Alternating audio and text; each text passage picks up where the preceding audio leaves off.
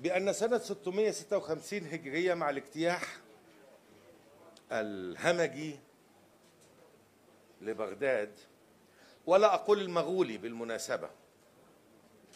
وإن شئتم لماذا؟ يعني سأشرح ذلك. إنما الاجتياح الهمجي لبغداد في سنة 656 خلف على أقل التقديرات 800 ألف قتيل. وعلى أعلاها مليوني قتيل. واختفت بغداد عاصمة الدنيا من خريطة الإنسانية لزمن طويل تالي لكنها عادت. كان اختفاؤها مرهونا بتدمير الكتب. وكنا ونحن صغار يخدعوننا ببعض المعلومات فيقولون أن هولاكو أحد مجرمي التاريخ وضع الكتب في نهر دجلة كي تعبر عليها الخيول. هذا تصور صبياني ساذج جدا. الكتب القديمة أو ما نسميه اليوم المخطوطات كما يعرف أي مشتغل بالتراث العربي لا يوجد ما هو أخطر عليها من الماء. يعني النار التي تحرق الكتب خطرها أقل من الماء. وقد رأيت مخطوطات قديمة تعرضت لحرائق وأخرى لم لمستها مياه أو رطوبة عالية. الماء يجعل الصفحات تلتصق ببعضها البعض لأن الحبر الذي كان يستعمل وأغلبه في زمن المجد يعني العربي الإسلامي كان حبرا نباتيا وليس حديديا كان يؤدي إلى التصاق الأوراق مباشرة. وبالتالي مسألة إلقاء الكتب في نهر دجلة ليس كي تمر عليها الخيول. كان بإمكانه أن يلقي أي شيء إنما هو كان طمس للروح فهذا الشارع هو علامة الروح الذي يكتب لا يموت والذي يقرأ لا يندثر. عندما استعادت رويدا بغداد بعد زمن طويل وعادت إلى الوجود. وتعرضت لصراعات عنيفة كانت تجري بين ال- ال- السفاحين من الصفويين والعثمانيين. بدعاوى كثيرة. نصرة المذهب وكله كذب. يتم به خداع العوام ليموتوا من أجل أشخاص لا يموتون. وكما قال الشاعر ومصادفة صارت الأرض أرضا مقدسة لأن ألوفا من الجند ماتت هناك. دفاعا عن القائدين اللذين يقولان هيا وينتظران الغنائم في خيمتين حريريتين من الجهتين يموت الجنود مرارا ولا يعلمون إلى الآن من كان منتصرا. إلى آخر آه بالمناسبة محمود درويش الشهر الجاي في طرابلس معقل السنة في لبنان. الكرسي انخفض بدون مؤامرات.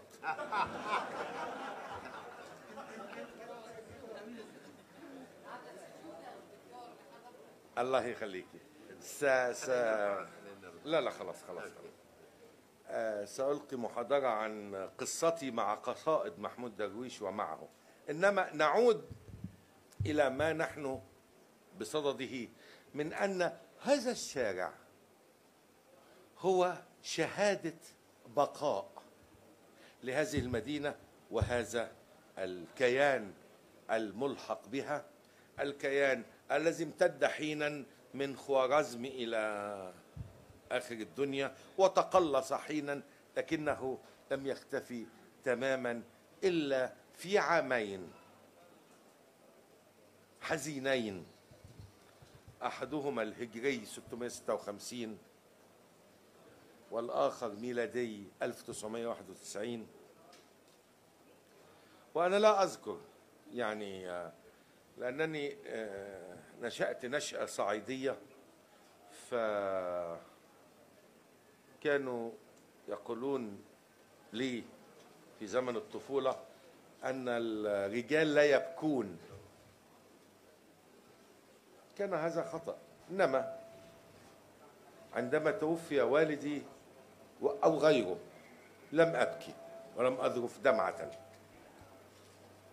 لكنني يوم رأيت الدبابات الأمريكية تعبر أحد الجسور هنا في المساء وكنت أيامها متزوجا ولا يصح يعني في عرفنا أو في تقاليدنا أن يبكي الرجل أمام زوجته لكنني لم أملك دموعي لأني أعرف أو كنت أعرف ما الذي سيجري في المتحف العراقي. وفي مكتبة صدام التي هي التي هي الأصل المخطوط الذي نشرت منه أكبر أعمالي أو أكبرها حجما كتاب الشامل في الصناعة الطبية حسبما ذكرت لهم أمس في أربيل.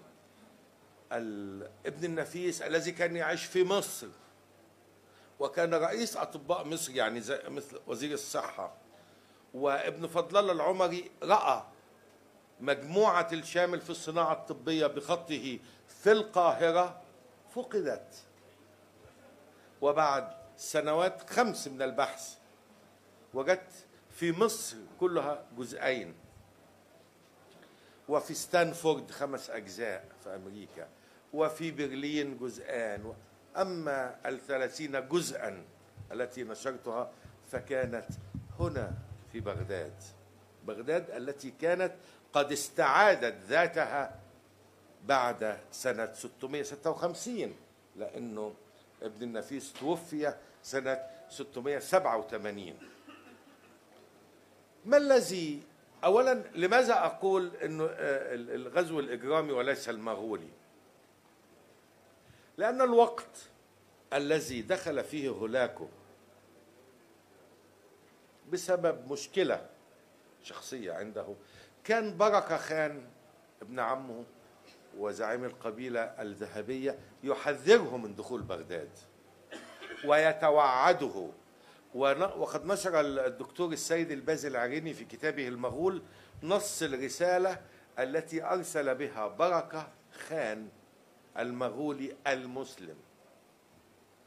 لابن عمه هولاكو يحذره من اقتحام بغداد فلما لم يمتثل لأمره قطع عليه طريق الإمدادات وهزمه هناك. اضطر ولذلك لم يكمل هولاكو مسيرته التوسعية. لماذا أشير إلى ذلك؟ لأن فيه دلالة على أن الهمجية.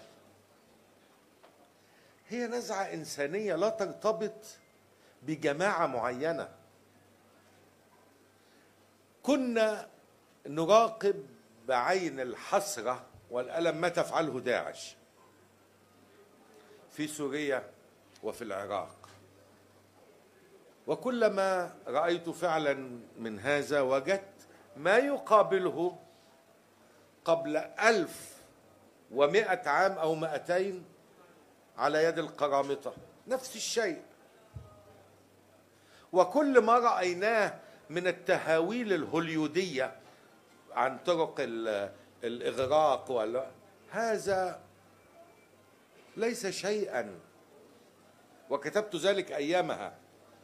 هو يريد أن يوقع الرعب في قلوب الآخرين. فكتبت لهم في أكثر الجرائد المصرية انتشارا أن النساء في مصر في التسعينات عندما نقمن على أزواجهم قمن بتقطيعهم ووضعهم في أكياس الزبالة فهم بالتالي أشد شراسة منكم. وهذا الذي تفعلوه عمل لولا أنه يزهق الأرواح لصار عملا كوميديا أصلا. أما الشراسة فقد رأيناها في ذبح القرامطة لكل من كانوا على جبل عرفات في موسم الحج. اطفالا ورجالا ونساء كل من كان حتى أننا لي ليس لدينا تقديرات للأعداد. ثم اقتلعوا الحجر الأسود وبقية القصة معروفة. اذا من هولاكو الذي يغرق الكتب أو يجعل الماء يت... يعني يصل إلى الكتب إلى القرامطة الذين كانوا بالمناسبة قبل ابن تيمية بقرون لأن بعض الموهومين يظنون أن هذا الرجل هو المسؤول عن فكر داعش وطالبان. هذا غير صحيح. هذا الفكر موجود. الهمجية نزعة كامنة في النفس الإنسانية. فإذا وجدت من ينشطها وإذا وجدت الظرف الملائم تنفست وأثمرت و و و واشتجرت وكبرت فإذا ذاق هذا المجرم المختل الدم صار كالذئب. لا والله الذئب أفضل. الذئب لا يفترس إلا ليأكل. أما هؤلاء فيفترسون بدفع المرض النفسي وليس بدفع سد. الجوع أو الحاجة إلى الطعام. فكانت الواقعة الأولى. 656 فارقة في تاريخ التراث العربي. كيف؟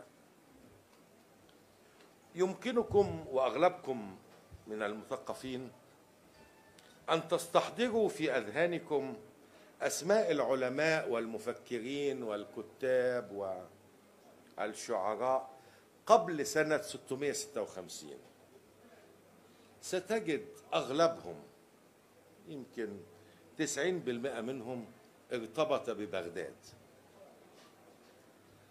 آه، صوفية من آه، من أمثال الإمام عبد القادر الجيلاني وفقهاء من أمثال أبو حامد الغزالي.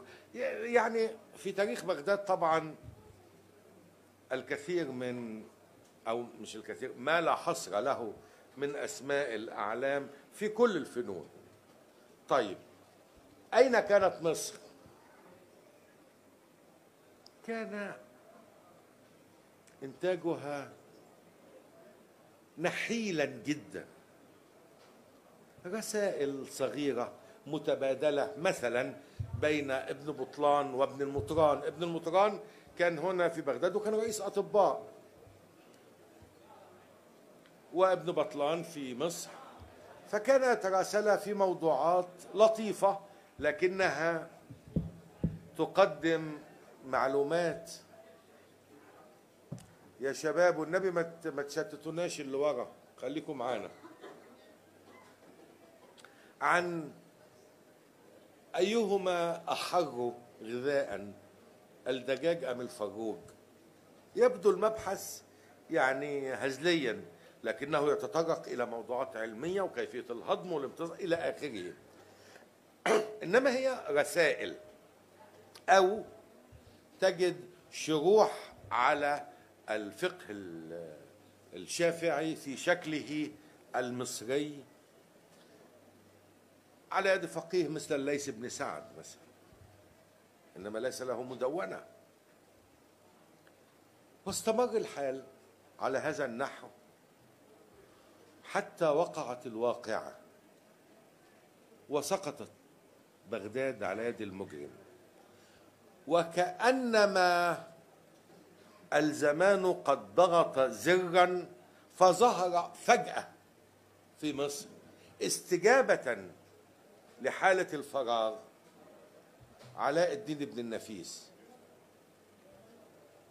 ما يقرب من سبعين كتابا منهم الشامل في الصناعة الطبية الذي وضع مسو- مسوداته بحيث يقع في ثلاثمائة جزء بيض منها وقد بلغ الثمانين من عمره ثمانين جزءا.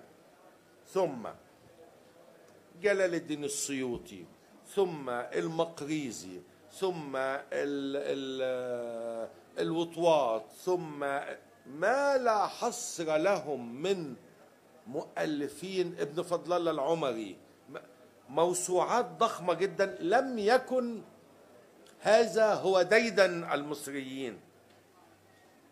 وإنما عندما تسقط بغداد لابد لمصر أن تلبي نداء الإنقاذ. وعندما تتوجع بغداد والعراق يتألم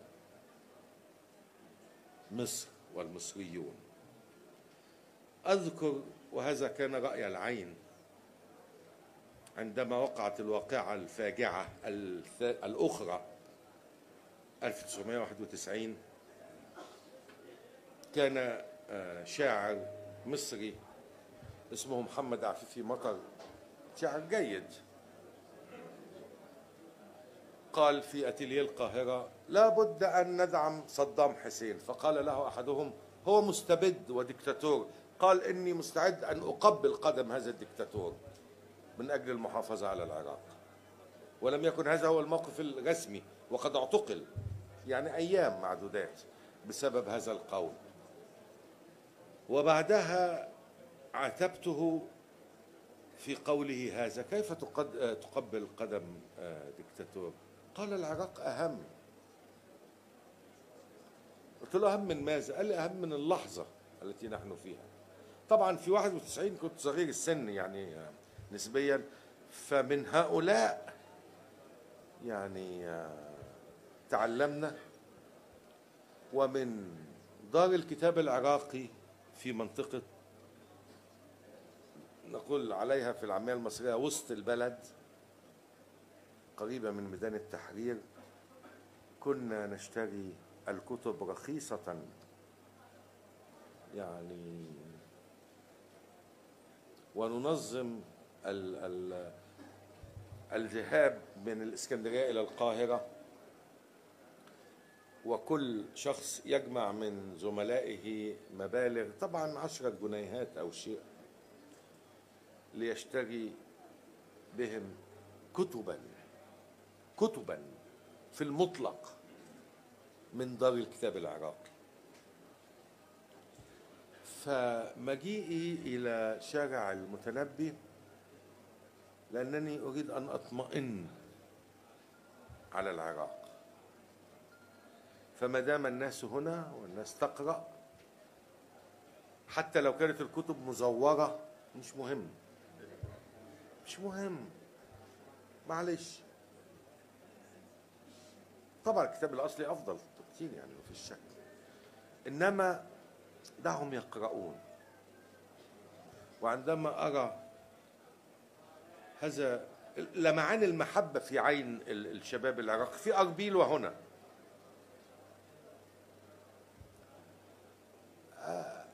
أجد أن هناك أملا وأن الغمة ستنكشف عن جميع الأمة بالضبط كما فعل المقريزي عندما اجتاح مصر الوباء سنة 802 هجرية حتى ابنته ماتت في في هذا لم يستسلم للحزن إنما كتب لنا كشف الغمة عن جميع الأمة وقال ما ملخصه أننا لا يجب أن ننصدم من شدة وعسر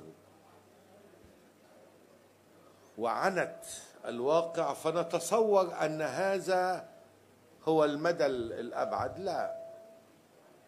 هناك ما هو أشد لكننا إذ نعاين الحالة نتصور أو نتوهم أنها حالة يعني قصوى ولكن هذا البلد العظيم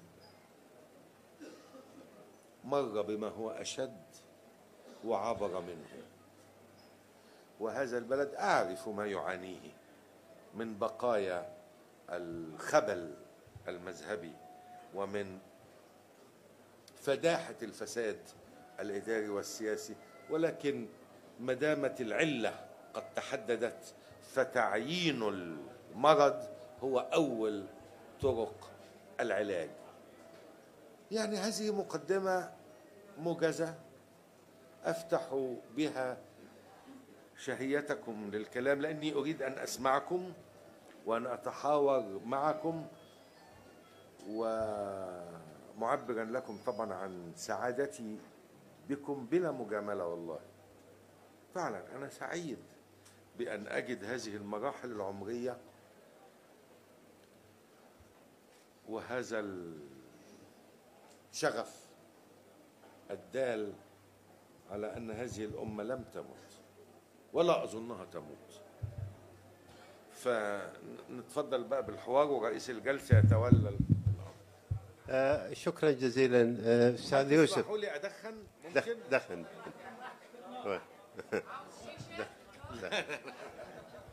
آه، الأستاذ يوسف أشار إلى الكتب المزورة. آه، قبل قبل قبل آه مستنسخ. قبل أن نبدأ كنا نجلس في الخلف. أحدهم أو إحداهن جاء بنسخة من عزازيل رواية عزازيل من أجل التوقيع. الأستاذ وقعها ولكن قال ما هذه الطبعة؟ هذه غريبة جدا. طبعا لأنها طبعة مزورة.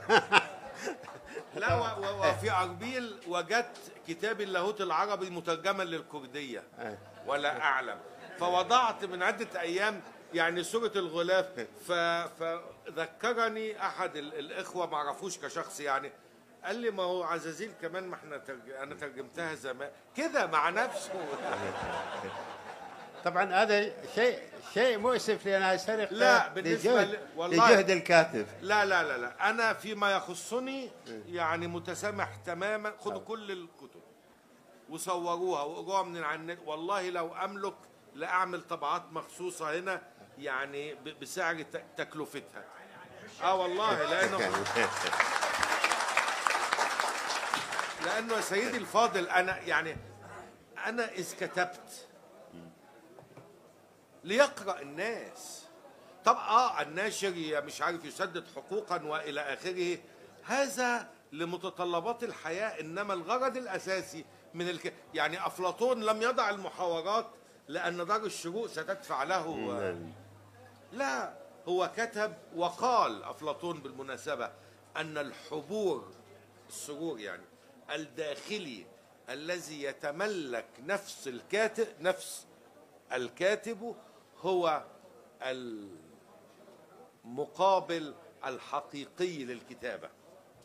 ثم لتأتي بعد ذلك طبعا الحقوق مهمة ليس للمؤلف بالمناسبة وإنما لصناعة النشر. لأن الناشرين يقولون وعندهم حق إنه إن تم استنساخ وتزوير الكتب نسخة اليوم دي مزورة لأنه مغير الغلاف كمان. هنا بتتوقف الصناعة فهنا الخطر. إنما فيما يخص المؤلف أو فيما يخصني أنا يعني أتحدث فقط عن نفسي أنا مسامح. شكرا على هذه السماحة العالية جدا. الراقية. الأستاذ بيسأل سؤال مهم. بيقول أنتوا طبعا تفهموا الكلام العامي المصري آه يعني لا هنتكلم بالفصيح. هو يقول أو قال في الماضي الماضي بنيان اللغة العربية كله ماضوي. يعني إذ ترد أي لفظه عربية إلى أصلها يأتي هذا الأصل الجذر على صيغة الفعل الماضي. يعني تريد in English هي قراء to know علامة. وهذا خطر لا بد أن ننتبه إليه جميعا. الماضوية. وسؤاله كان يتصل على نحو ما بالماضوية وقد جاءه الميكروفون فيستطيع أن يلقي هو بسؤاله سوف أجيب عليه. العفو دكتور سؤالي متى تنتهي؟ متى ينتهي تقديس الشخصيات التاريخية الدموية؟ ينتهي ذلك عندما يتحرك الذهن حركة صحيحة رشيدة منطقية ويكف عن استقبال الخداع الذي يتم به حشو الناس وهم صغار عبر الميديا وعبر المقررات الدراسية المغلوطة التي تصنع ابطالا. من الذي جعل لنا كيانا في الإنسانية؟ البيروني ابن سينا زرياب آه، أبو نواس هذا الفلتان المتنبي هذا البليغ السماوي اللغة. هؤلاء ابن النفيس ابن رشد حتى آه، أبو بكر محمد بن زكريا الغازي. وليس محمود ابن سبكتكين ولا السلاجقة ولا هؤلاء السفاحين ولن أنزلق إلى الجزء الذي يدور في أذهانكم. لأن أ- دكتور. حقيقة بس أريد أسترشد بجنابك. قصة المخطوطات. اللي وجدت في الشام أو في بيت المقدس. واكتشفت من تحت العتبة مال الباب. بس أريد هاي القصة تتعلق بيك ولا أنت عثرت عليها في في مكان آخر. أنا افتهمت أنه المخطوطات اللي كتبها هذا الراهب اللي إجا من جنوب مصر اللي كانت سودان وإجا هاي الرحلة العظيمة مالت هذا كله خيال. خيال. إذا وعلى فكرة أنا لم أبتدعه. نعم. يعني أعمال كثيرة جدا أول رواية في الأدب الإسباني نعم. وأشهر واحدة من أشهر الروايات في العالم دون كيشوت أو دون كيخوتا سيربانتس بدأها بأنه كان في مسجد لل- للجماعة المسلمين اللي خرجوا من الأندلس يعني فوجد أوراقا تحكي وراح وقص القصة جمال الغيطاني عمل كده في الزيني بركات. والأسماء. هنا. نعم. هنا لمن يهتمون بالكتابة. نعم. يعني نسطور هنا مثلاً. هنا الأمر. نعم. يا شباب. يا شباب. في واحدة ست بتتكلم أنا سامع صوتها من وراء حجاب. الكتابة التاريخية شديدة الخطر بالنسبة للكاتب. لأنه يتحرك في فراغات سكت عنها التاريخ فسمح للمؤلف الروائي أن يتحرك بشرط ألا يخدش الوقائع الفعلية. يعني الراهب هيبة خيال. نسطور حقيقي. ال- ال- الراهب هيبة خيال نسطور شخصية حقيقية يتفاعل. لا يصح أبدا عندي في مذهبي أن نجعل نسطور ينطق بشيء هو لم ينطق به فعلا في التاريخ. أوكتافيا هذه المرأة الشهية المتوهجة المتفجرة بالأنوثة. خيال. هيباتية هذه الجوهرة المنيرة في تاريخ الإنسانية حقيقة تاريخية. يجتمع في الرواية يكون الشرط ألا ننطق الشخصية الفعلية بشيء لم تقل ألا نحرك واقعة وقعت في زمن مخصوص ألا نغير حقيقة تاريخية لصالح الفانتازيا أو التأليف الروائي ولهذا ينصرف معظم الكتاب عن تأليف الرواية التاريخية وتقريبا لا يوجد في الأدب العربي قصص قصيرة تاريخية لصعوبة هذا المسلك. لأنه من السهل جدا السقوط. يعني لو أنطقت شخصا بشيء لم يقله في كتبه مثلا ولو كانت مخطوطة هذا كفيل بهدم البنيان الروائي ولذلك تحتاج الأعمال التي من نوع عزازيل والنبطي والرواية التي ستصدر الأسبوع القادم عن ابن سينا عنوانها فردقان آه هذا النوع من الكتابة طبعا كان كان في فردقان أصعب بكثير من عزازيل لأنه هذا هو ابن سينا الذي كتب وحكى وحكي عنه. فأين مساحة الحركة؟ مساحة الحركة في الفراغات التي صمت عنها النص التاريخي. شكرا جزيلا. من فضلك. أه، بعد أن كشفت عن بعد أن كشفت حضرتك عن كثير من زيف الشخصيات التاريخية والأسطورية واللي أضيف لها واللي أخذ منها. ردود الأفعال لدى الوسط المثقف برأيك شنو كانت عليك تحديدا؟ شكرا. لا لا الوسط المثقف ردود أفعاله مجدية جدا بالنسبة لي وجيدة جدا. هي الخطورة من ردود الأفعال الآتية من الوسط غير المثقف. شوف يا سيدي الفاضل سأبوح لك بسر. أنا بقيت يمكن عشرين سنة أشتغل فقط في قلب ال- المعرفة في التراث العربي في النصوص المخطوطة في التصوف في تاريخ العلوم. على اعتبار أن هذا هو السقف الأعلى للثقافة العربية وهذا هو الإسهام الحقيقي.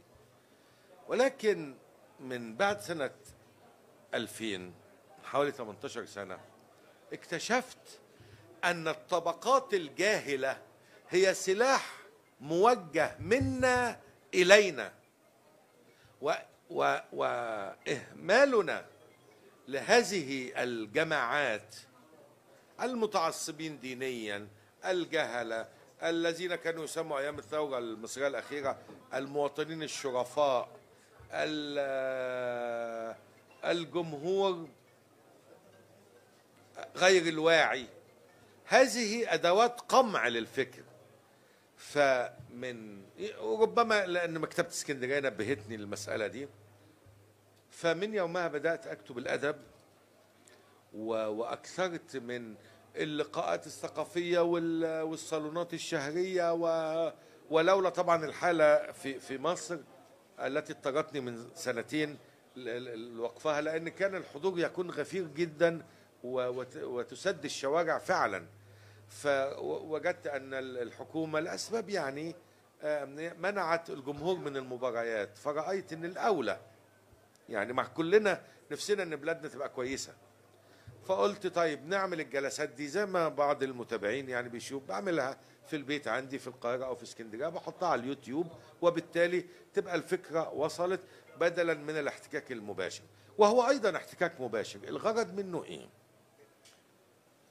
أن ترتقي العقلية العامة معا لأنه إن كان خمسة بالمئة من العراقيين يقرؤون ويدرسون ويعملون أذهانهم في الأخبار وتسعين بالمئة على الجهة الأخرى فلن نصل لشيء.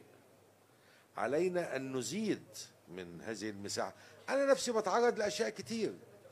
يعني آه، من التهديدات إلى القضايا إلى الشكاوى القانونية وهذا منهك. ولكن في مقابل أن أحدث هذه الدفعات أو هذه اللسعات لل- لل- للعقلية العامة لتستفيق لأن كفانا تخلفا. إحنا صرنا أضحكة العالم يا أخي يعني.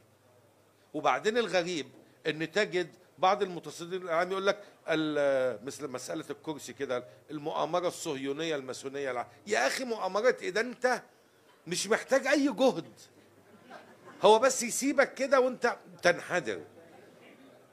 فهنا يأتي دور الثقافة دور شبيه بدور سيزيف الذي يرفع الصخرة. بس إن شاء الله تبلغ القمة يعني.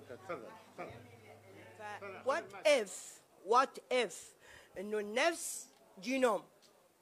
مش ب... مش بس الجسد النفس كمان جينوم. وإنه اللي موجود حاليا هو انحدار بالنفس سينحدر بالجسد. ألسنا مقبلين على مرحلة مسوخ؟ شكرا. يعني إذا قلنا هذا سيخرج آه، واحد من كفار قريش ويقول صبأ ورب الكعبة. وندخل في متاهة.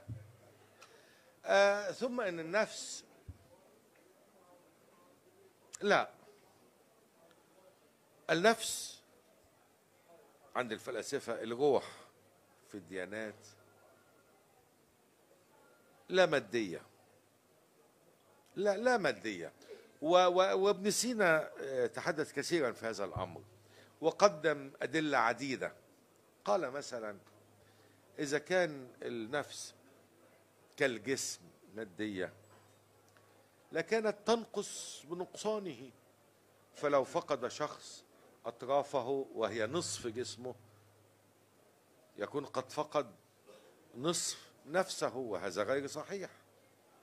ثم إن الجسم يعني يتغير قد يسمن فيبلغ يعني قدر يبقى 150 كيلو مثلا. أو يعني يمارس حمية غذائية فيصبح 60 كيلو. هل نفسه بتزيد بهذا المقدار؟ لا. يبقى الشاهد من ذلك بالإضافة طبعا إلى البرهان البديع الذي قدمه آه، ابن سينا ثم الغزالي بعد ذلك وأخذه ديكارت ويسمى اصطلاحا بتعملوا دعاية للقناة؟ طبعا.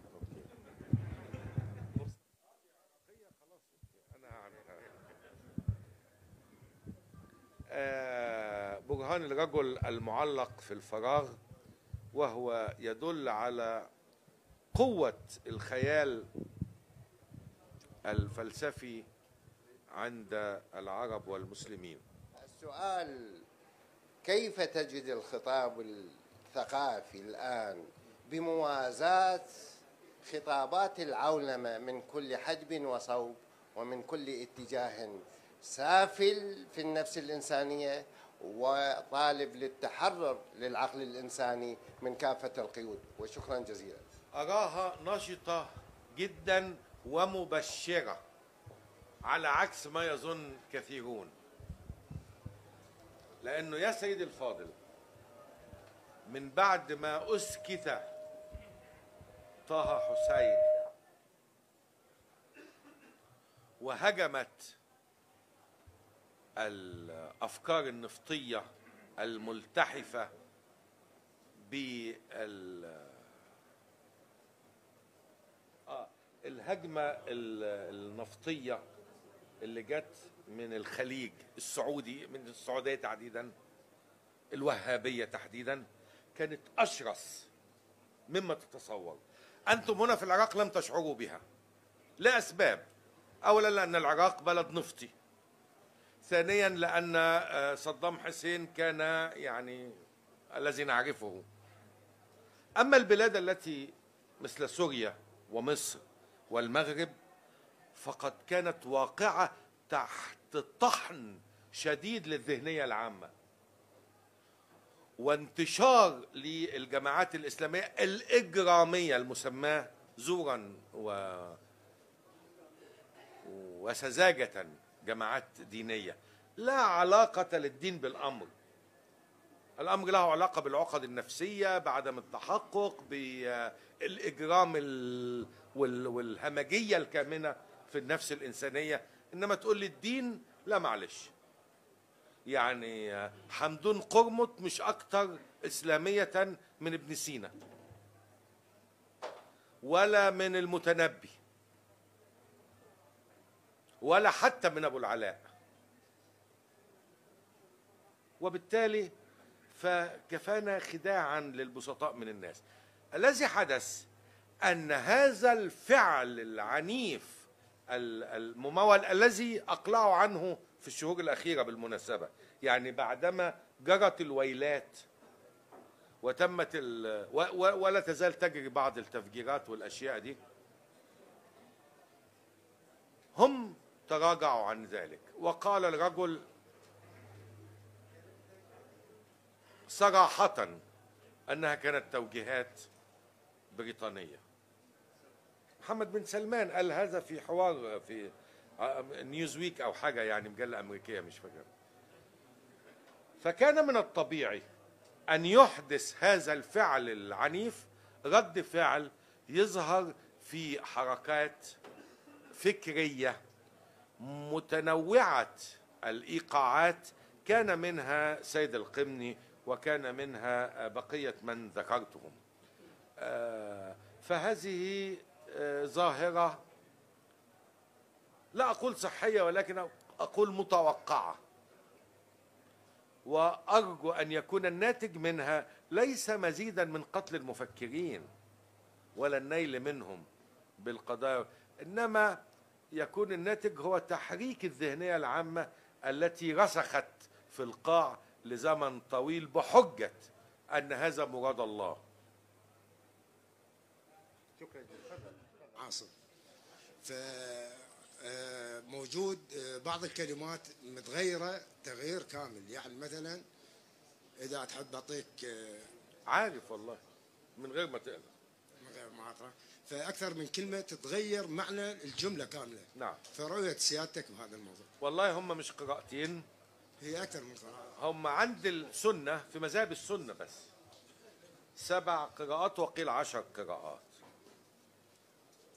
والقراءات متعددة جدا وليست المشكلة في القراءات المشكلة في الضبط.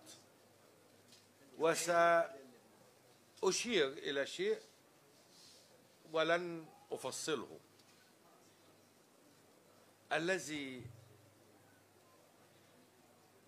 عمل لضبط المصحف الذي بين أيدينا الآن هو الرجل الذي هدم الكعبة وضربها بالمنجنيق وقال يا أهل العراق والشقاق إلى آخر هذه القصة. الحجاج ابن يوسف الثقفي. ولن أزيد حرفا على ذلك. تحياتي أنا ما عهدتك مجامل يعني ما كنت تجامل. بس أنا ما أعرف بس- يعني وقفت يعني يوم مفردة لما يقول هاي جماعات هي مو إسلامية ولا دينية. اللي ولكن هم مجموعة قتلة وسفاحين. أيوة. هذه المجموعات ارتكزت بالقتل والسفاحين وسفك الدماء كلها ارتكزت على موروث ديني. وهذه هسه العصابات اللي هسه أي اي دين؟ الدين الإسلامي.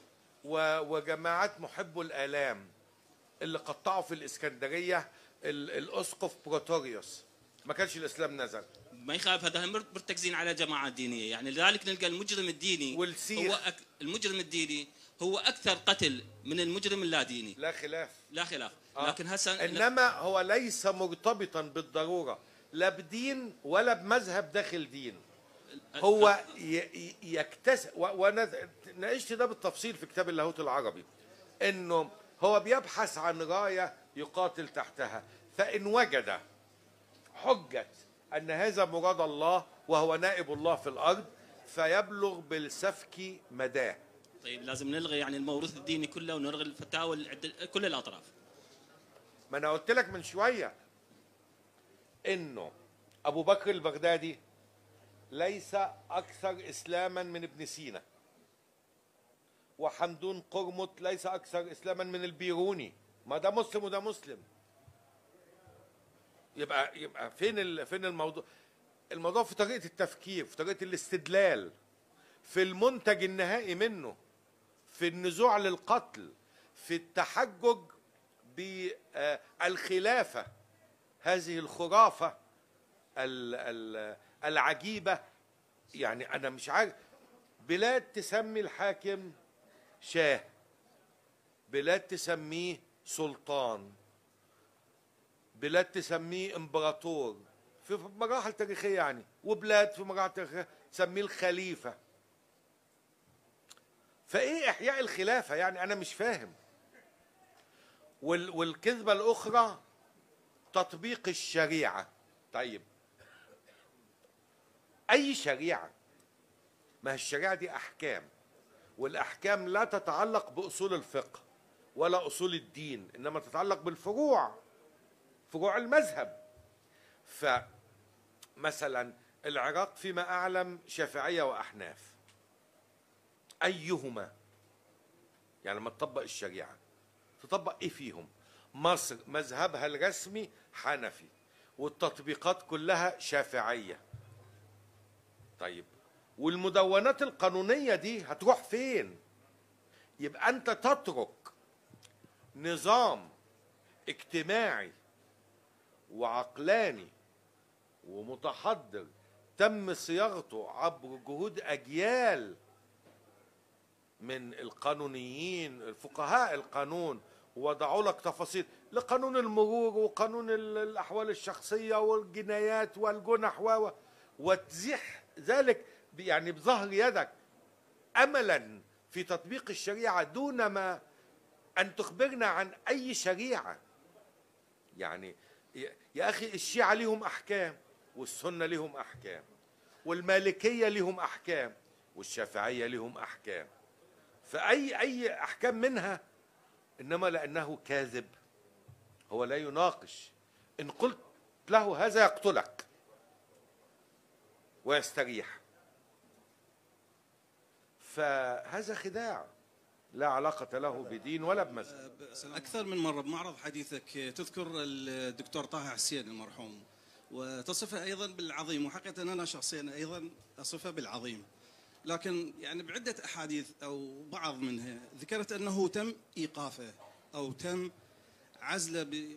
طبعاً. ليس بالكلمة بحرف الكلمة يعني آه، لكن يعني ما نعرف متى بالضبط تم إيقافه هذا لا لا عب- عب- الراجل أو عاش. لا الراجل عاش حياته يعني منغصا عليه بتحقيقات في النيابة نعم. وبمظاهرات للمتعصبين ويسقط الوزير الأعمى ومضايقات من ال... لا يعني هو عانى معاناة يعني طويلة جدا ويعرفها الصغير والكبير يعني ومن ساروا على نهجه من محاولة إرساء المنطق والعقل والنقدية وتطوير الفكر. عانوا أيضا يعني كل بحسب يعني نصيبه من هذا العنت والتضييق وبعضهم سجن وبعضهم قتل وب... يا أخي نجيب محفوظ أنا عرفت نجيب محفوظ. ده كان إنس... ه- أديب نوبل العظيم ده لما تعرفه بشكل شخصي كان زي طفل. نفسه سامح حتى إن ابني علاء وكان كان صغير عنده خمس أو ست سنوات كانوا طول الجلسة يقعدوا يتناقشوا مع بعض ويضحك الأستاذ نجي هو شا- يجي ولد حمار بغل ويطعنه بسكينة في رقبته وهو راجل فوق التمانين. وليه يا ابني عملت كده لما مسكوه؟ يقول لك إيه؟ قالوا لي عليه كافر. طب إيه ده؟ الولد ده ضحية. ضحية لناس قاعدة من وراء ستار عمالة تحرك النزاعات التعصبية دي لتصب في مصالحها التي هي غالبا سياسية واقتصادية. ومن يدفع الثمن؟ البلاد أن مشروعك. الفكري أو الثقافي والمعرفي قائم على ضبط المفردة باعتبار أن المفاهيم متسورة تقوم على المفردة ملامحه. هذا الموضوع جدا مهم دكتور يعني في عوالم الفلسفة. ماذا نعني بالدقة المتناهية في ضبط اللفظ؟ لكي يعني صناعة المفاهيم كيف تتم عن طريق ضبط اللفظ؟ هذه الإشارة مهمة دكتور. أحببت أن نتناقش بها. الضبط ضبط دلالة المفردات. أحد القضايا الأساسية يعني التي أعمل بجهدي فيها منذ آه، مطلع الألفية يعني. نشرت كتاب كلمات ومقالات كثيرة في هذا الأمر. لأنه يا أخي الفاضل إذا تحدثنا ونحن غير متفقين على معنى المفردة والكلمة ودلالتها نحن في مستشفى مجانين. يعني لأن زي ما, ما لسه حالا بقول يجي واحد يقول لك الخلافة. يعني إيه الخلافة؟ طيب الخليفة أبو بكر الصديق سمي خليفة لأنه خلف النبي. ثم خلف عمر أبا بكر. فهو خليفة خليفة رسول الله ثم قالوا أمير المؤمنين. وأطلق على أمراء المؤمنين عندما يعني جاء الدور على بعض المتهتكين من الأمويين والعباسيين أطلق إجمالا خليفة المسلمين. طيب في النص القرآني وهو الذي جعلكم خلائف. وفي النص القرآني إذ قال ربك إني جاعل في الأرض وفي قراءة أخرى خليقة. إنما لو خدنا بالقراءة الأولى يعني هنا الخلافة خلافة إلهية في الكون خلافة ربانية. ولا خلافة النبي ولا إيه؟ لازم تضبط دلالة ومعنى المفردة لكي أستطيع أن أبني معك فكرا رشيدا وواقعا أفضل إنما أن نترك المفردات هائمة في في في سماوات آه، مفتوحة غير محددة الدلالة فلا تستطيع بالتالي في هذه الحالة لا تستطيع اللغة أن تبني بنيانا ذهنيا متماسكا ولهذا فإعادة قراءة الوقائع التاريخية إعادة بناء المفاهيم والتصورات الكلية ضبط المفردات التواصل مع التراث باعتباره أداة لاستشراف المستقبل. هذه هي ملامح ال ال المسار الذي ارتضيته. الارتقاء باللغة آه، يعني من حيث البلاغة اللغة الناصعة لأن كلما انطمرت اللغة وعلى عباراتها عباراتها الغبار كلما دل ذلك على إعتام ذهني. ولهذا ستجد في القرن الخامس الهجري لغة المتنبي ليست بعيدة عن لغة ابن سينا والبيروني والذين يعني آه، اقتربوا منه زمنا. لأنه عندما ينشط الذهن تنصع اللغة. العلاقة بينهما تبادلية. وبالتالي فأحد ملامح المسار الفكري عندي هو الاهتمام باللغة. أهلا. ده اليسار؟ يسار ماركسي ولا إيه؟ أهلا وسهلا.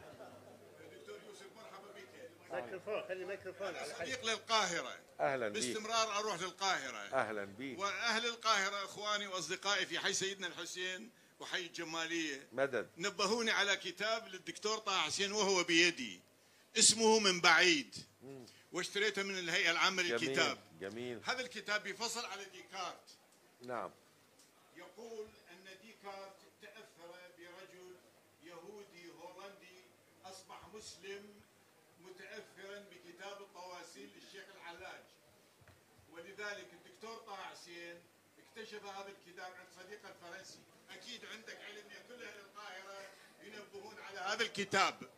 يا سيدي الفاضل أي هاي عندما خرج المتعصبين دينيا اللي هم آباء الإخوان المسلمين وقالوا لطه حسين إنك تكذب على ديكارت. ديكارت لم يقل هذا الكلام الذي تقوله.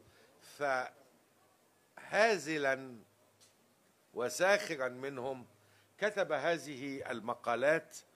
آه، وظل يحكي إن ديكارت رجل ولد في جزيرة في نائية ومش ثم حمله آه، حملته العنقاء و...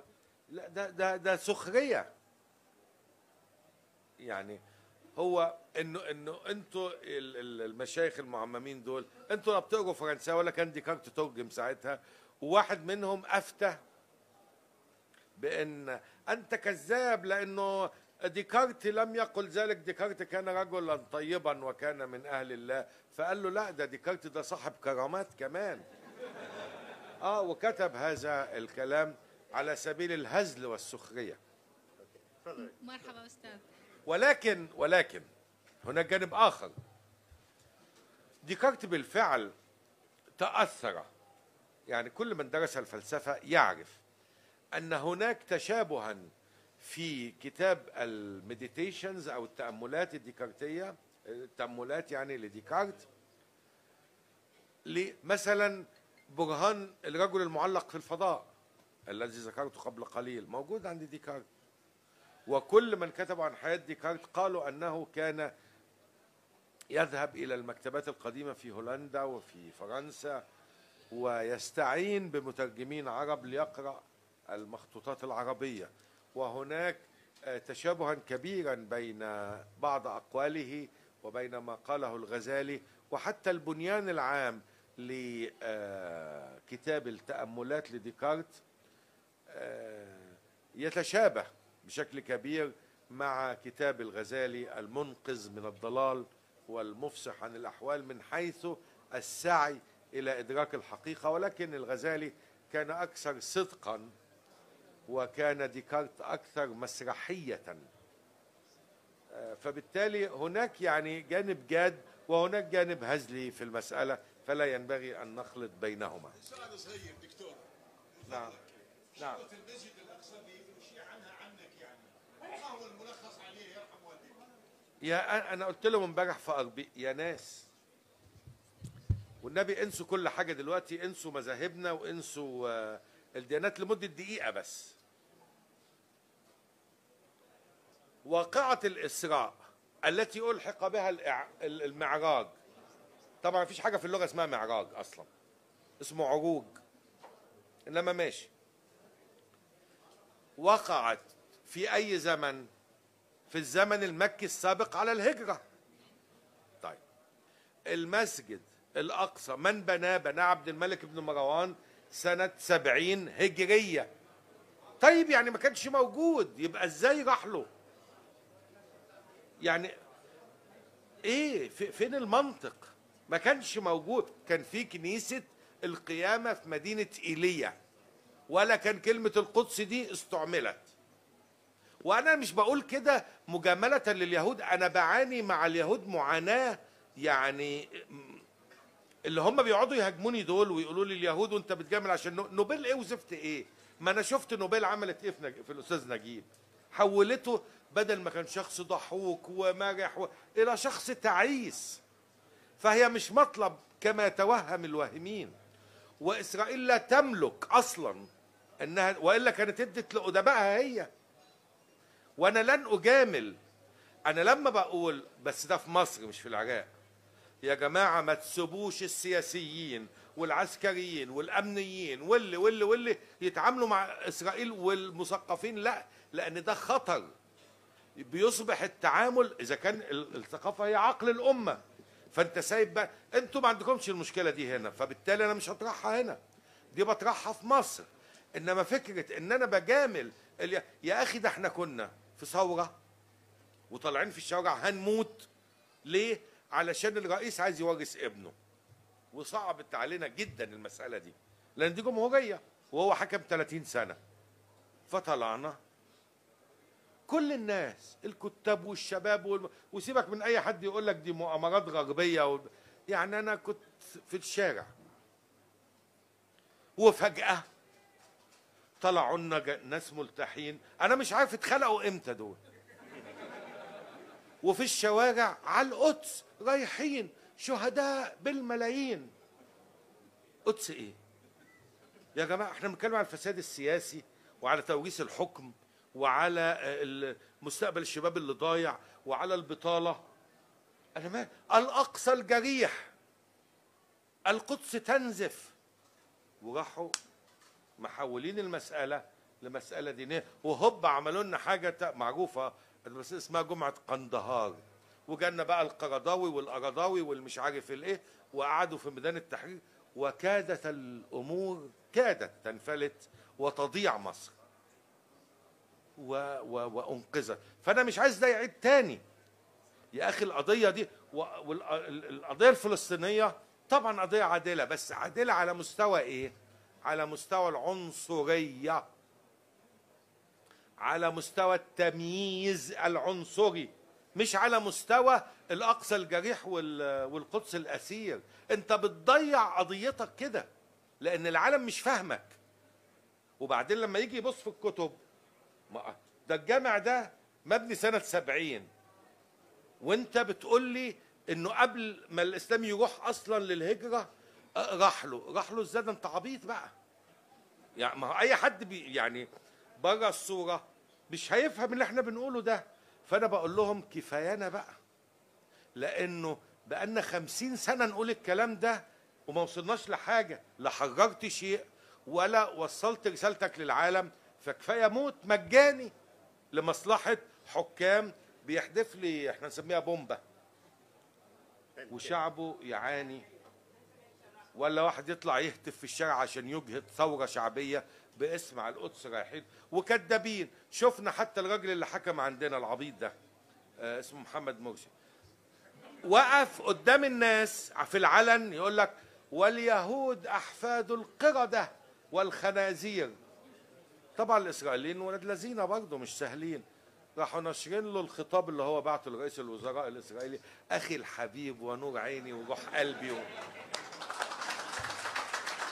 تفضل تفضل أستاذ يوسف. آه، أستاذ يوسف. نعم. آه، يعني يمكن صار الصدى الأوسع بين القراء العزازيل بسبب صعوبة إيجاد أدوات بحثية تغطي تلك الحقبة. تعتقد أنه قرية ظالمة لمحمد كامل حسين آه، سلسلة مهمة يجب أن تتبع أو تحديدا تسبق قراءة قرية ظالمة وممكن تعطينا أمثلة أخرى تسهل القارئ. والله يا ستي أنا ما قريتهاش ما أقدرش أحكم. إيه. ما لم للأسف يعني لم أقرأ الرواية. هناك هناك هناك. جايين السلام ورحمة الله. طيب الله نعم. اسمي بغداد أهلا بيك. عاصمة الرشيد. تسلم. أنا أتابع يعني على اليوتيوب آه، محاضراتك. نعم. أنت ناقد جيد للإسلام. يعني آه، المراحل اللي مر بها المسلمون. لكن اليوم أراك تدافع عن الإسلام. يا سيدي الفاضل أنا لا مع ولا ضد. نعم نعم بس أنا مع الإنسان وكل ما يؤدي إلى الله. طب ما هو عبد القادر الجيلاني ده ده كان موضوع رسالتي للدكتوراه يا أخي. وفقيه حنبلي وكتابه في إيدينا اهو الغنية لطالبي طريق الحق. نعم. هات لي سطر واحد فيه تعصب فيه. ده لم يذكر المذهب حتى. نعم صحيح. فبالتالي عبد القادر الجيلاني أنا بعتبره رصيد حضاري بداخلي. ابن سينا المتهم بأنه آه، شيعي إسماعيلي لم يكن شيعيا ولا اسماعيليا كان فيلسوفا وعالما ومفكرا وهو رصيد في. المتنبي هذا الذي يدل اسمه على عدم تقوى متنبي. هو رصيد من الأرصدة التراثية العم إيه الشكل ده؟ أستاذنا اسمحنا. والله أنا فكرت ان. أنا مت ورحت الجنة وده يطوف عليهم ولدان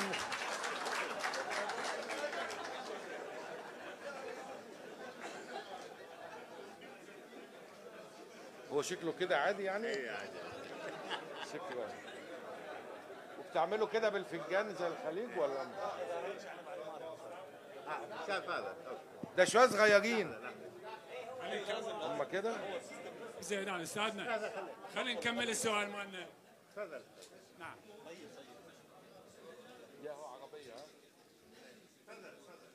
تفضل أنت أنت نعم. وصفت هولاكو. نعم. أنت وصفت هولاكو بالهمج لأنه رموا الكتب في نهر دجلة. نعم. صحيح؟ فماذا تسمي إحراق مكتبة الإسكندرية ورمي الكتب لإشعال الحمامات. لم تكن لم تكن هناك مكتبة في الإسكندرية عندما جاء عمرو بن العاص. لا لا كانوا مكتبة موجود. لا لا والله العظيم. هات لي مصحف أحلف لك عليه. إنه سنه هذا تاريخنا مزور. سنة 391 اقتحم الرعاع المسيحيين المعبد وأحرقوا المكتبة في الزمن المسيحي قبل الإسلام ب 200 سنة. فاضل ممكن اجيبكم لو هيك ماكو مكان تفضل الحقيقة أعبر عن سعادتي وسعادة. هذا الجمهور الكبير. أنا فاضل ثامر ناقد أدبي. الرئيس السابق لاتحاد الأدباء. وسبق لي وأن كتبت عن رواية عزازيل دراسة نقدية. ممكن أقدم عنها فكرة الآن. طبعا الأستاذ آه، يوسف من الكتاب التنويريين القلائل في الوطن العربي. يذكرنا بشجاعة نصر حامد أبو زيد وفرج فودة والكثير من المفكرين الذين حاولوا أن يعيدوا قراءة التاريخ والفلسفة ويزيلوا هذا الوهم الكبير الذي يعيش فيه العالم العربي والإسلامي في الآن. هو رجل مقاتل وأرجو أن لا تكون نهايته مثل ناس نصر حامد أبو زيد أو فرج فودة. أدعوكم إلى أن تتابعوا على اليوتيوب الندوات الهائلة التي يقدمها التي تكشف هذا الأفق. هو رجل مثقف موسوعي بطريقة غريبة.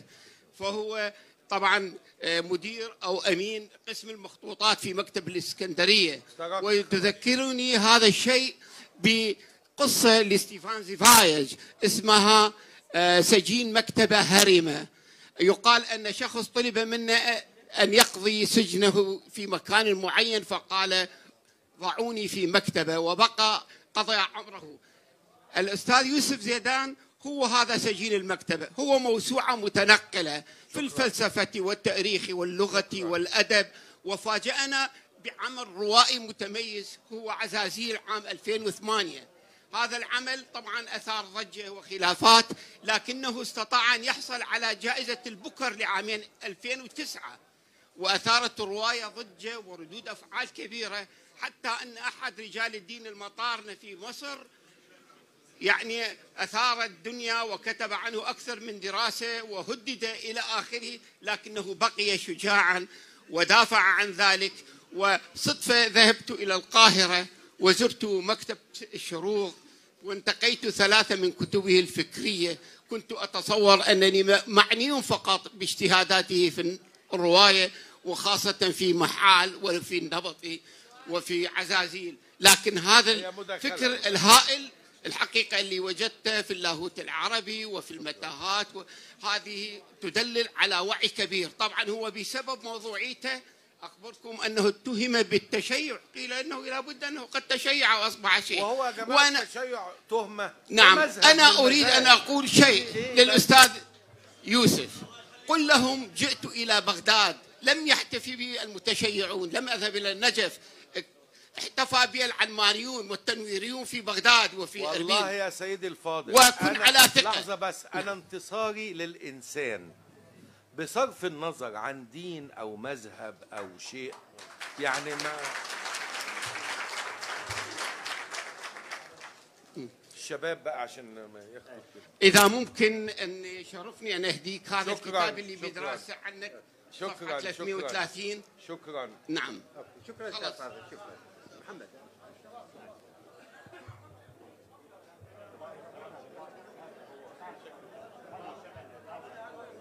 شكله فنان. أهلا. أخيرا وليس آخرا. آه، أوكي. ت- تفضل تفضل. السلام عليكم. السلام ورحمة الله وبركاته. أنا أقرأ كتبك وأشوف أنت عندك مقاربة معينة للتصوف. طبعا. مقاربتك أصنفها تحت المجال الأكاديمي. بمعنى أنت تدرس التاريخ تدرس الأحداث تدرس أدبهم وت- وتحط لنا إياه وتلخصها بطريقتك إلى الأفق الإنساني نفسه صحيح. أنا أعنى بالفن الذي قدمه المتصوفة بالضبط. شعرا وموسيقى عند المولوية. ورؤى آه علوية عند محي الدين ابن عربي الذي يقول بمنتهى الوضوح لقد كنت قبل اليوم أنكر صاحبي إذا لم يكن ديني إلى دينه داني وقد صار قلبي قابلا كل صورة فمرعا لغزلان ودير لرهبان. إلى إلى آخر الأبيات حيث يقول أدين بدين الحب أن توجهت ركائبه فالحب ديني وإيماني. هذا هو التصوف الذي أعرفه. السؤال أنا السؤال انت نعم. إنك تقدم منهج معرفي هو منهج نظافه الألفاظ هذا منهج معرفي يعني أنت تأسس لمعرفة نفهم من خلالها المعلومة. تأسس إطار فكري باراديم نعم. معين نعم. جديد المتصوفة عندهم إطار معرفي تأويلي يعني ابن عربي بتفسيره الكبير للقرآن لما تقرأ تفسير سورة الكهف مثلا راح تلقى في عند التأويل التأويل واضح جدا للسفينة الف- الكتاب كتاب آه، تفسير القرآن بالقطع وبعد دراسات طويلة ليس لمحي الدين ابن عربي إنما لكمال الدين القاشاني أوكي. ونسب لابن عربي. إنما أنت متصور كم المعرفة الفلسفية اللي عند محي الدين ابن عربي؟ أنا شفته عند نصر حامد أبو زيد بكتاب التأويل. طيب كم المعرفة الفلسفية عند شهاب الدين السهروردي؟ سهروردي ما قرأت عن قرأت اللي كتب عنه ما قراته لا لا كتبه موجودة متداولة. ده يا أخي ده له كتاب في المنطق. شوف التصوف والفلسفة. له كتاب في المنطق. المنطق. اسمه هياكل النور. تقرأ مقدمة الكتاب. يقول ما نصه. يا قيوم أيدنا بالنور. واحشرنا إلى النور. واجعل منتهى مطالبنا رضاك. وأقصى مقاصدنا ما يعدنا لأن نلقاك أثار الظلمات قيام بالباب ينتظرون الرحمة ويرجون الخير. الخير دأبك اللهم والشر قضاؤك. بارك في الذكر. في الذكر. وهو داخل يشرح كتاب في المنطق. طيب الصوفي الأندلسي العظيم ابن سبعين الذي أجاب على أسئلة عارف ال ال الكلام على المسائل الصقلية عارفينه ولا أقول لكم عليه؟ كان في إمبراطور اسمه فريدريك الثاني إمبراطور صقلية وده اللي الملك الكامل ابن أخو آه، اداله القدس تاني رجعها له تاني سنة 628 الراجل ده كان غاوي ثقافة عربية وكان في بلاطه دايما شعراء. فراح عامل مجموعة أسئلة في الفلسفة والمنطق وأرسلها إلى العراق والشام فمحدش جاوب عليها. فأرسلها إلى الأندلس. فأجاب عنها صوفي أندلسي عظيم جدا اسمه محمد ابن عبد الحق ابن سبعين. والكتاب اسمه عنوانه الكلام على المسائل الصقلية فبيقول للإمبراطور فيه بيقول له أنا بلغني يا شباب يا شباب. فبيقول له في الكتاب أنا بلغني إنه ال- الأسئلة دي أنت بعتها لعلمائنا في المشرق وإن محدش جاوب عليها. وطبعا ليهم حق لأن دي الأسئلة أسئلة تقال لل- للأطفال في الكتاتيب مش للعلماء. أنت يا أخي بتسأل عن أرسطو وما الجوهر وما ال... طيب أنت متوقع إجابة أنا هقول لك عليها. وراح قايل له الإجابة بحسب التراث الأرسطي الفلسفي. قال له بس الكلام ده ده اللي إحنا بنقوله بس للولاد في الكتاتيب علشان يعني يبدأوا يتعلموا إنما الكلام ال- ال- على ما يجيبه الرأي الصحيح وبدأ يعيد بناء ال- ال- المنطق بشكل تاني مش تأويلي فلسفي جدا. نفس الشيء عملوه كتير من يعني مش شرط إن الصوفي يبقى في ناحية والفيلسوف في ناحية تانية بالعكس. التصوف ده نزعة إنسانية قد تتجلى في الفن في الفلسفة في الأدب في الشعر طبعا في كتير والا جلال الدين الرومي ده إيه يعني؟ وفريد الدين العطار ده إيه يعني؟ ما هم صوفية وشعراء و وصوفية وفلاسفة آه، صوفية وموسيقيين وهكذا. التصوف هو سقف دائرة الوجود الإنساني الواعي. سعيدون بك دكتور في أهلا بغداد. أهلا. أهلا وسهلا بك. فرحون بهذا اللقاء الجميل. حقيقة عندي تعقيب وسؤالان. نعم. التعقيب حول آه، سؤال السيدة التي سألتك عن نظرية التطور والنفس. حقيقة هناك طبيب عراقي آه، مقيم في بريطانيا آه، مختص بعلم النفس التطوري. نعم. فيقول إنه إنه النفس أيضا تطورت كما تطور الجسد. أم، ال- أما السؤالان، السؤال الأول حول الدلالة.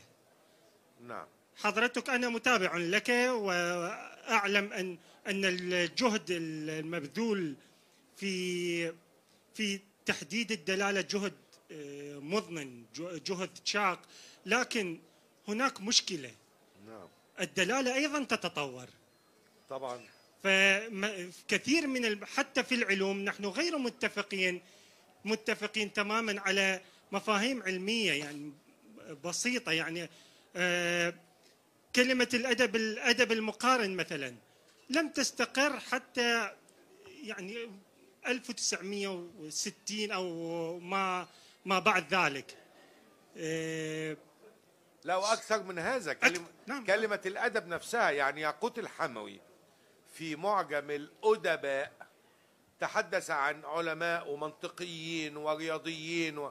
واعتبرهم جميعا أدباء. و... ونحن إذ نقول فلان في باللغة التراثية فلان المؤدب يعني إنه معلم أبناء ال... الأمراء مثلا أو الملوك. أنا لا يا, يا أخي الفاضل أنا لا يعني مشكلة عندي في تطور الدلالة. أنا المشكلة عندي في عدم إدراك التطور الدلالي.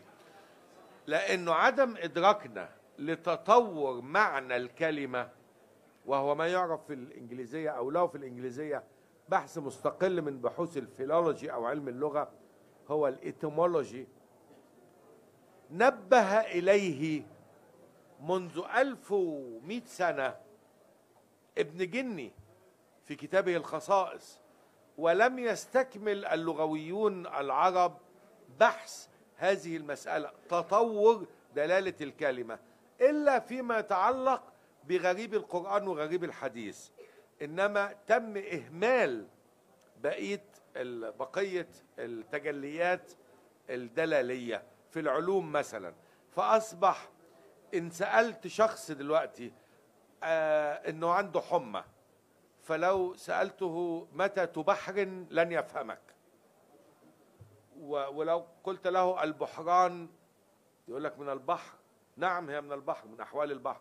ولكن البحران هو الذي يسموه آه، هو التحول ال- الحاد في في الحميات المزمنة أو تسمى الكريزة كرايسيس.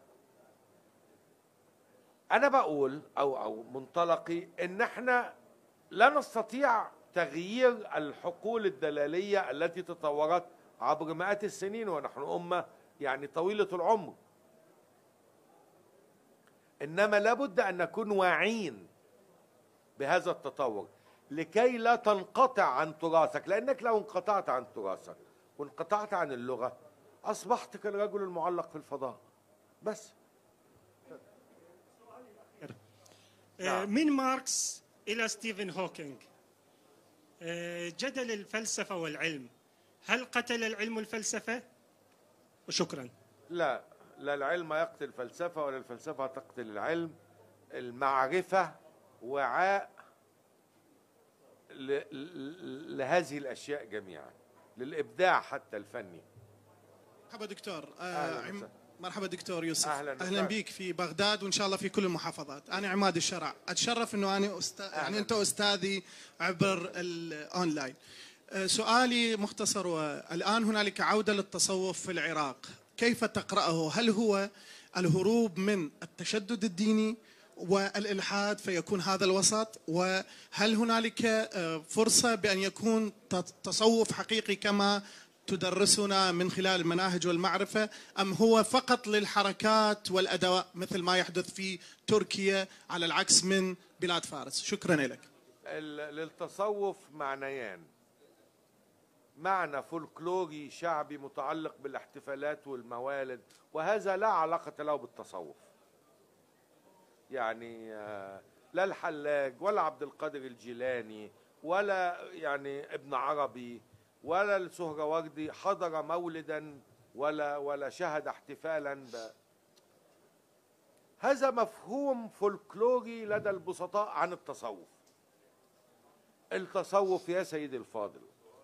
هو الارتقاء بالوعي الإنساني للتماس مع الجزء الأعلى من النفس الإنسانية. ال- ال- المنطقة المقابلة للقاع الذي فيه الهمجية الموروثه من أزمنة ما قبل الحضارات. التصوف هو الحضارة هو الإبداع الفني هو ال- الفلسفة العالية هو الرياضيات البحتة. هذا هو التصوف.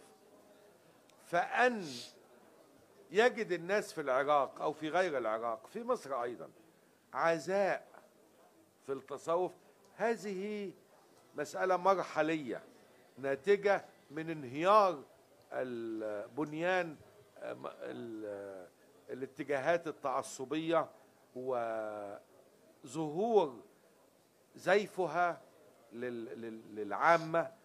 فيريد أن يؤمن بشيء يريد أن يشعر بأن العالم آمن ولكنها في النهاية حالة مؤقتة ولن تطول السلام عليكم شلونك دكتور؟ الله. أهلا وسهلا. آه طبعا حاكيناك إحنا على ال Messenger ونرحب بك وكنا يعني فرحانين أهلاً بوجودك هنا وشكرا للمدى اللي فتنا منحتنا هاي الفرصة. آه وسلامي للشاعر إيهاب البشبيشي يعني أمانة توصل لي. السؤال اللي عندي اريد أقول أني مشكلتنا هو بالوعي. بما إنه هو السؤال ابن الوعي. شلون أنا أقدر آه للعامه أو للناس اللي هي عندها ايديولوجيه معينة تكون آه أطلق عندها هذا التساؤل. يعني شنو الآلية اللي أقدر أخليه يفكر بتساؤل معين يقوده للوعي، يقوده المنطق. للمعرفة للإدراك المنطق. وشكرا. المنطق ويمكن ده مطروح في روايتي القادمة إن لابن سينا يعني جزء كبير من كتبه ال- اللي بقيت يعني لأنه كتير منها فقد ليه جزء كبير منها آه، في المنطق. لأن المنطق هو الطريق. هو الذي يعمل على المحور المشترك بين البشر. العقل وقوانين الفكر الأساسية والبديهيات التي تأسس عليها قوانين للبرهنة هذا هو المنطق. الاستقراء والاستدلال هذا هو المنطق. تقابل القضايا هذا هو المنطق. بهذا الطريق تستطيع أن تصل إلى شيء مشترك بينك وبين الآخرين وإن اختلفوا عنك في المذهب وفي الدين وفي الثقافة لأنكما تشتركان في السمة الإنسانية الأساسية الجامعة وهي العقل. والمنطق هو الأداة العقلية للتفكير. عبد الوهاب حمادي عضو اتحاد الأدباء والكتاب في العراق. أهلا وسهلا. سؤالي هناك كاتب مصري اسمه توفيق الحكيم. طبعا. ألف كتاب حماري قال لي نعم. حماري آه. قال لي توفيق أيوة أيوة الحكيم. حمار الحكيم. في آه. كتابه عن الحمار. نعم. فما هو رأيك فيما ذهب إليه توفيق الحكيم في فلسفته في كتابه حماري قال لي وشكرا. والله توفيق الحكيم وبع ومن بعده هناك جمعية في كانت في مصر اسمها جمعية الحمير يقولون أنه تمت الإساءة ال- الكبيرة للحمار ولكن الحمار هو أكثر الحيوانات تحملا وهو ليس غبيا كما يشاع. هو يدرك لكنه لا يظهر أنه يدرك وبالتالي فللحمار حكمة يعني يحاول هؤلاء أن يترسموا خطاها. ثم أن الأمر يعني لا يخرج بعد عن نطاق السخرية والفكر ال- يعني توفيق الحكيم له كتابات كثيرة. يعني يمكن ما تفضلت بالإشارة إليه هو أقلها آه، شهرة. إنما عصفور من الشرق مثلا وبقية أعماله هي أكثر شهرة وتداولا. أما مسألة الحمير والحمار فهي كما يعني ذكرت لك. أنهم سيتحملون سوءات الواقع وسوف يحجبون ما يعرفون لأن الآخرين لا يشتركوا معهم في هذه المعرفة فيكونوا آه، كالحمار الذي آه، ظلم عندما اتهم بالغباء السلام عليكم أستاذ يوسف السلام ورحمة بك ببلدك. الثاني العراق.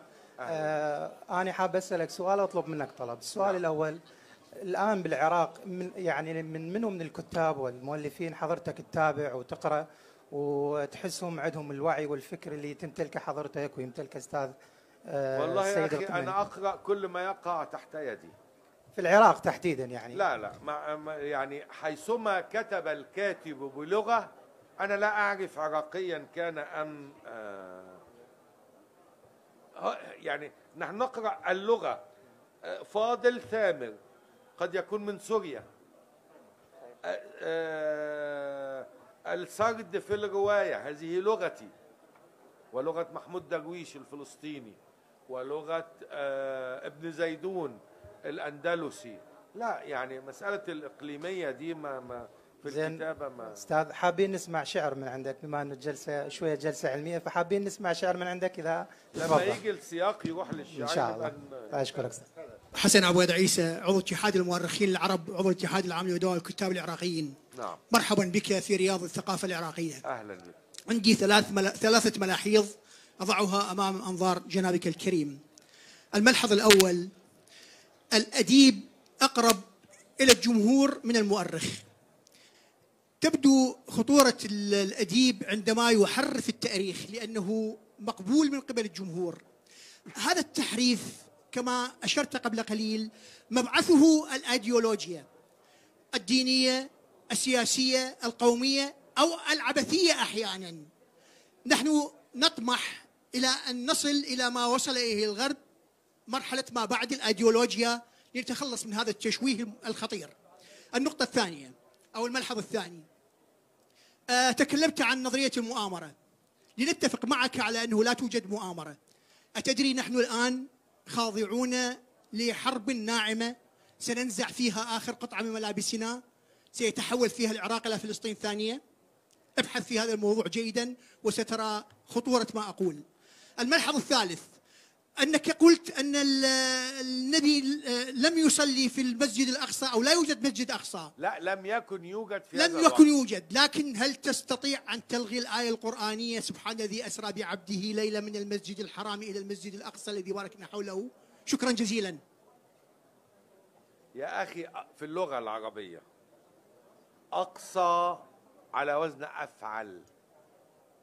يعني لابد أن يكون هناك داني وأدنى وأوسط وقصي وأقصى. هذه مواضع.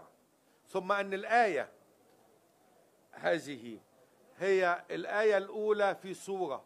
ما اسم السورة؟ لا ما اسمهاش الإسراء.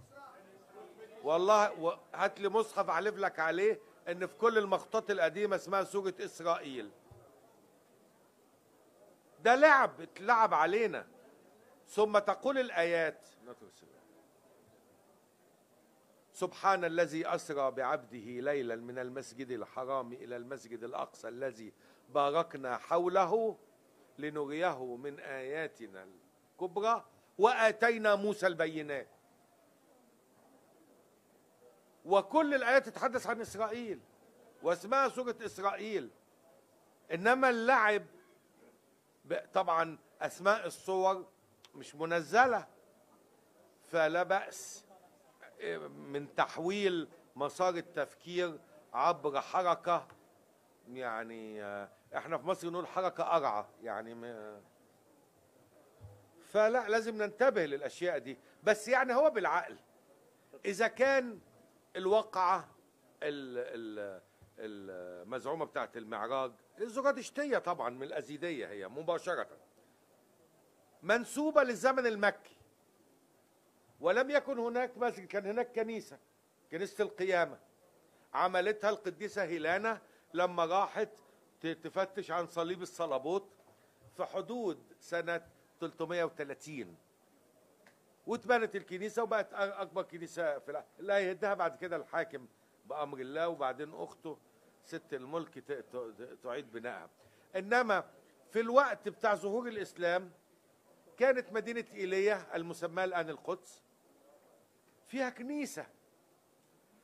إنما كم الأحاديث بقى ال- الهائل ده؟ يقول لك إيه؟ وقال له كفار قريش أوصف لنا المسجد. فوصف لهم النوافذ. يا عمي ما كانش فيه مسجد. بيوصف إيه؟ المسجد ده معمول بعد سبعين سنة. هو في إيه؟ عشان كده قلت للأستاذ المنطق هو العاصم. عن الزلل في التفكير. هذا زلل في التفكير. بس. في سوريا. من إيه؟ مش من الكنيسة مش من الدين. أنت بتعاني من المذهب. هي دي مشكلتك. فما تقوليش العلمانية وإلا كل المذاهب هت- هتقوم ضدك هيتحدوا ضدك.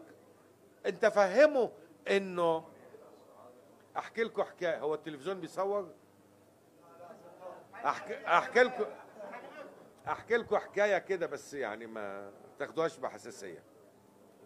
في اتنين صحابي مش صحابي يعني جيراني واحد اللي بيعمل لي الأكل في في القاهرة يعني.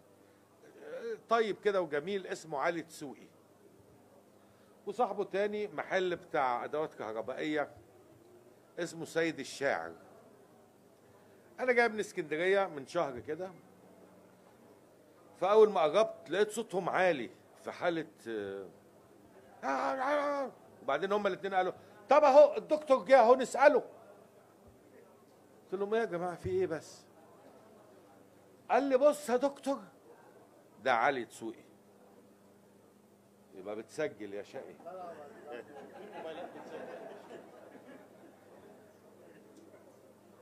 آه سيد الشاعر بيقول لي الشيعة المسلمين. قلت له أمال أنت بتقول إيه يا علي؟ قال لي لا يا دكتور معروف في مسلمين وفي مسيحيين وفي شيعة. قلت له طيب بالراحة كده. هو يعني إيه شيعة؟ قال لي مش عارف.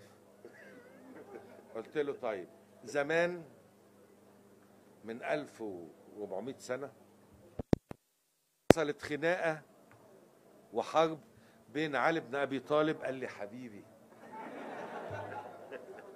ومعاوية قال لي ابن وشتم هو ما يعرفش مين معاوية بس هو إيه عشان إيه؟ وبعدين استمرت الحكاية دي وبعدين جه الحسين قال حبيب قلبي ده ده أنا والله دكتور أول ما ألاقي نفسي متضايق كده أروح أقعد في ساحة سيدنا الحسين كده وأهدى خالص. قلت له طب اللي انت بتقوله ده هو التشيع لعلي وبنيه. قال لي إيه ده يعني أنا شيعي؟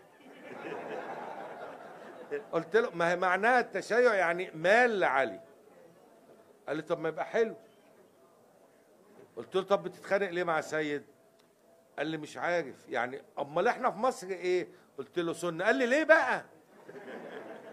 قلت له عشان المسألة يا علي طلعت بره موضوع الميل لآل البيت إلى مذاهب بقى وتقال لي لا لا لا مالناش في الكلام ده. أنت مشكلتك الأساسية إيه في العراق وفي سوريا بالذات واليمن المذهبية. وفي مصر على نحو مختلف. في مصر بقى مش سنة وشيعة لا في مصر إخوان وسلفيين. عندك سياق إشكالي مختلف عن السياق الإشكالي لأوروبا في العصور الوسطى. فعليك أن تبتكر حلا لواقعك مش أن تستورد حلولا جاهزه وتطرحها في الواقع فتزيد ال- الأمر التهابا. بس هو ده ال- السلام عليكم دكتور. السلام ورحمة الله وبركاته. أنا عندي سؤال واحد فقط. نعم. آه، ما رأيك بوضع المرأة اليوم في المجتمع وضع المرأة في المجتمعات العربية والإسلامية. مزري خصوصا بعد الجدل اللي بحول لا مزري مزري لنا جميعا للرجال وللنساء.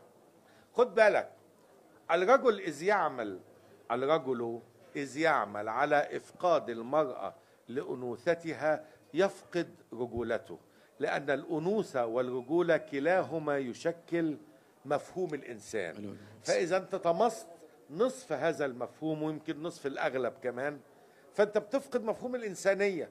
ثم أنه ليه يا أخي؟ يعني من أعطاك هذا الحق إلا زمن التخلف والأفكار ال ال ال الصحراوية؟ يا أخي العراق هنا أول عبادة كانت من خرساج. ثم عشتار ثم إنانا ده انت هنا مهد الأمومة أو الأمومية. إنما أن يصل بك الحال أن تقتل آه، آه، فتاة لأنها مش عارف عارضة أزياء ولا حلوة. أنا ما أعرفش حلوة ولا وحشة حتى ما شفت شكلها يعني. حلوة؟ حلوة حلوة. كل امرأة حلوة. كل النساء لا يعني قصدي إنه إنه يستهدف الأنوثة التي فيها. وبعدين في نفس الوقت يقتل بقى التاني عشان الحور العين. طبعا تعالى بقى أقول له إن الحور العين دي لفظة سريانيه مش هتخلص هيكفرك. وحور بمعنى أبيض والقصص اللي أنت عارفها بقى دي. فنحن لدينا مشكلات وأول العلاج هو التشخيص وهذا هو ما نفعله.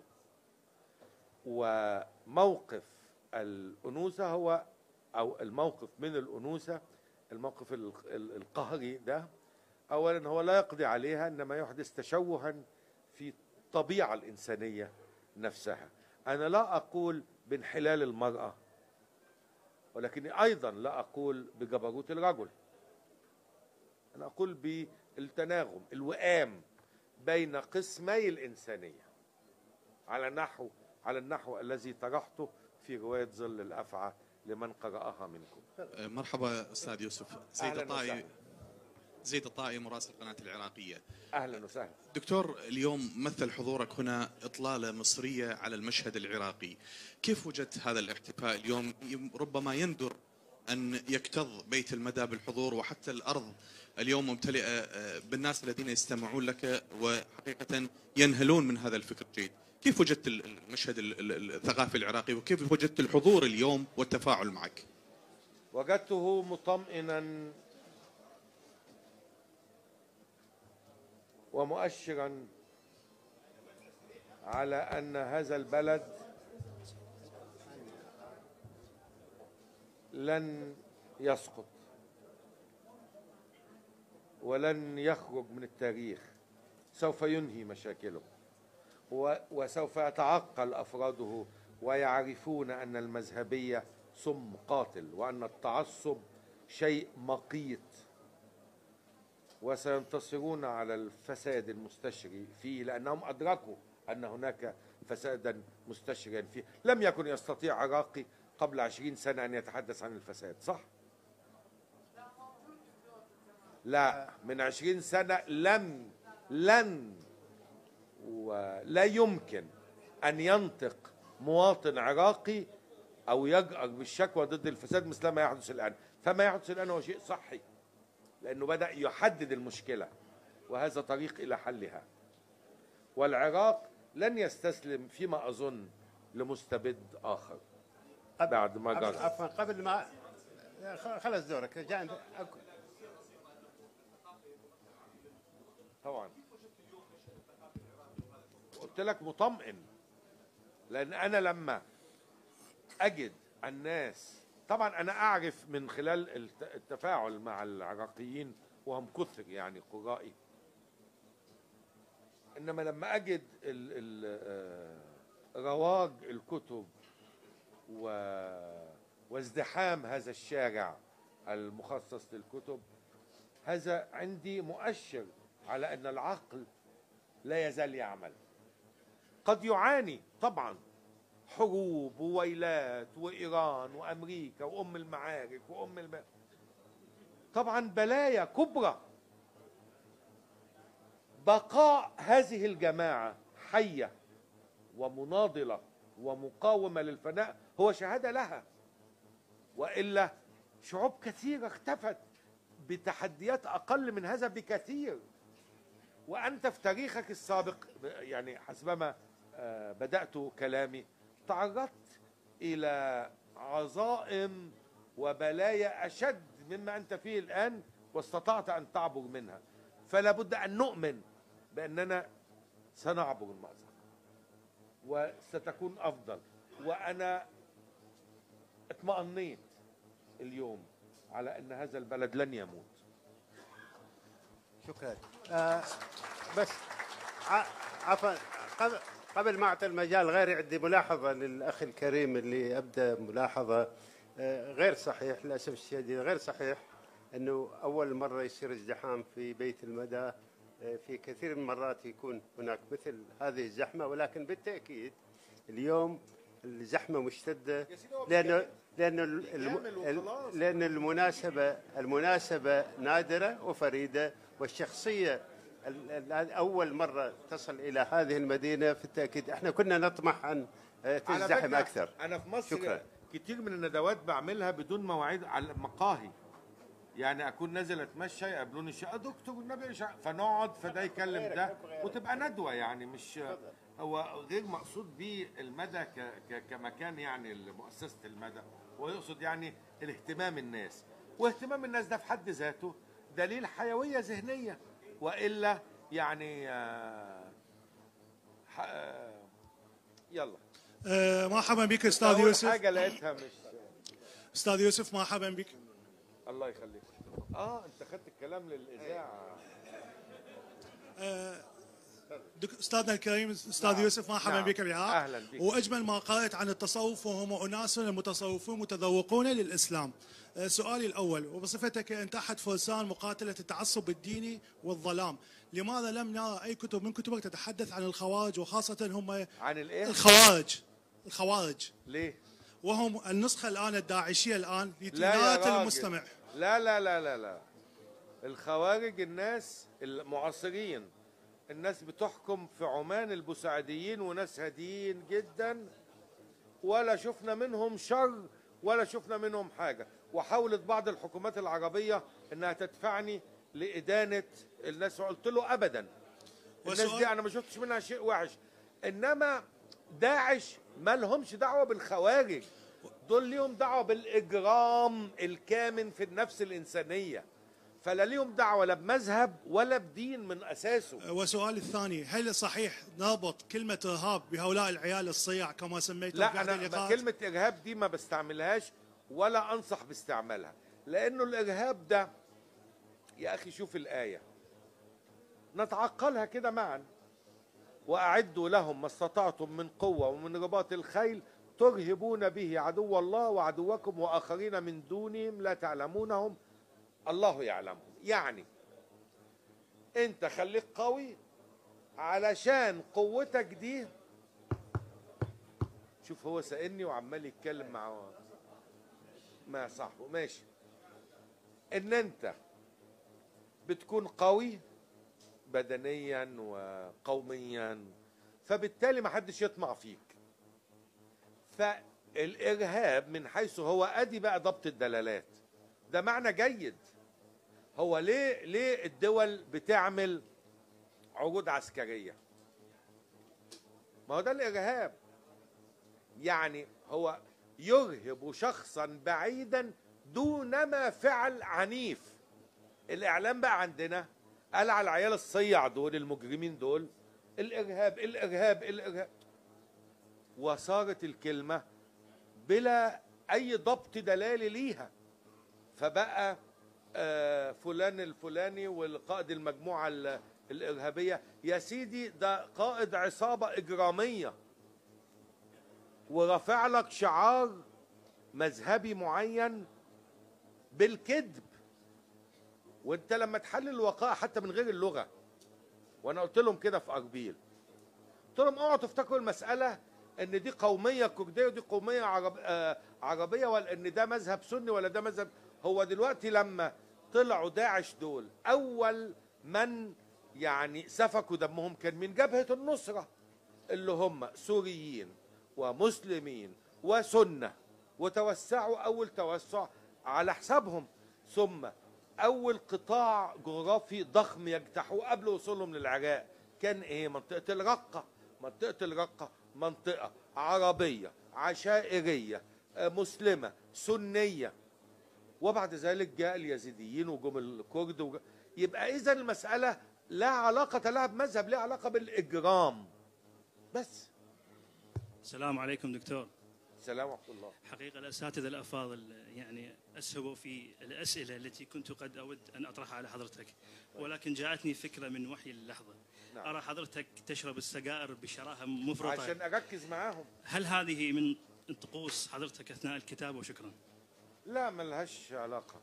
بس هو لأنه امبارح ما نمناش طول الليل وأول امبارح في المعرض يعني آه، كان زحام شديد و... وكده. فأنا عا- بس عشان التركيز مش عشان حاجة تانية. نطفيها أهو نطفيها. انت أخذت فرصة. اخذت خلي غيرك الفرصة. أخذت فرصة. يلا تفضل تفضل. آه، أستاذ يوسف. نعم. هل تعتبر الصوفية هي رافد أو أحد روافد التنوير؟ شكرا. هي سقف أعلى للإنسانية. لا يمكن أن يبدع أن يبدع فنان إلا إذا تصوف وإلا هيبقى بيعمل بيزنس لا يمكن أن أن يقدم فيلسوف فلسفة راقية إلا ب باشتراك النزعه الصوفية فيه. وكذلك في الأدب في الفكر في يعني دائرة الوجود الإنساني قاعها هو الهمجية الموروثه من الأزمنة الأولى. وسقفها الم- ال- القبة العليا لها هي التصوف. بيظهر التصوف بحسب الثقافة السائدة في هذا الوقت أو ذاك فلو ظهر عند مسيحيين يبقى اسمه رهبنة.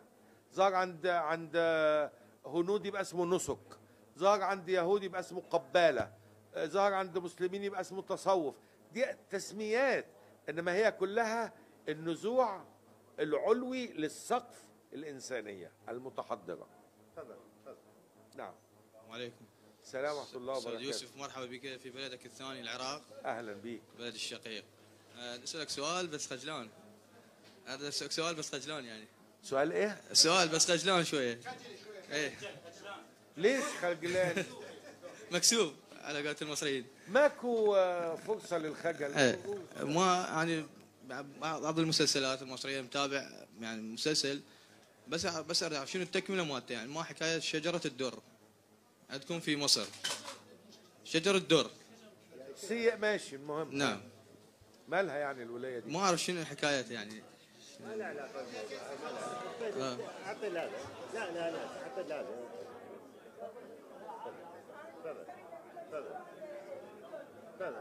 نعم.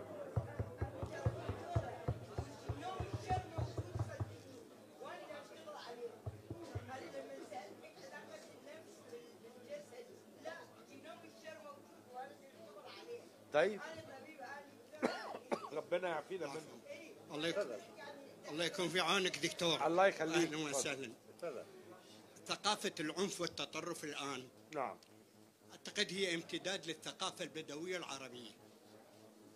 بدليل آه، قول الشاعر النابغ الدبيان بأننا نورد الرايات بيضا ونصدرهن حمرا قد روينا. وإذا بلغ الفطام لنا صبيا تخر له الجبابر ساجدين. آه ده مين آه طبعا. طيب. عمرو بن كلثوم الذي تتهمه أنت ب... اولا ده كان في المنطقة المتحضرة هنا في جنوب العراق ما كانش في قلب الجزيرة. وبعدين بدأ المعلقة إزاي؟ ألا هبي بصحنك فاصبحين ولا تنسي خمور الاندر ولا تبقي خمور الاندرين ومن قلب الجزيرة هناك من نجد أو منطقة نجد قال زهير بن أبي سلمى معلقته التي فيها وما الحرب إلا ما علمتم وذقتم وما هو عنها بالحديث المرجم.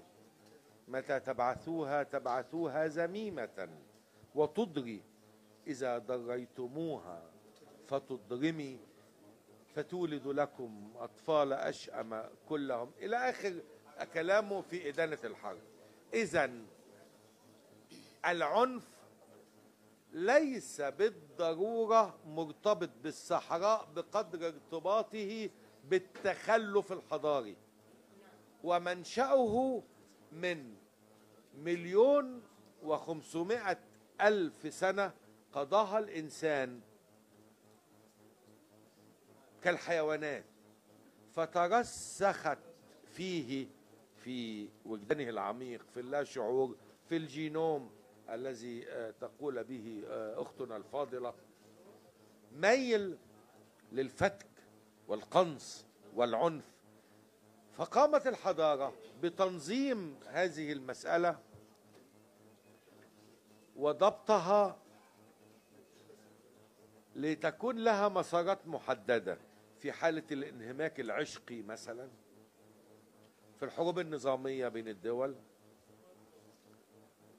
ثم العودة للسلام بعد تفريغ هذه الشحنة الهمجية الكامنة في نفس كل إنسان.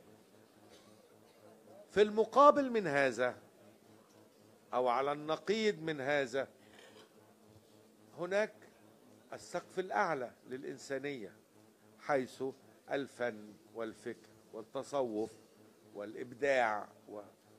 فكلما اقترب من السقف الأعلى وكنت أكثر تحضرا كان ذلك أجمل وأبهى.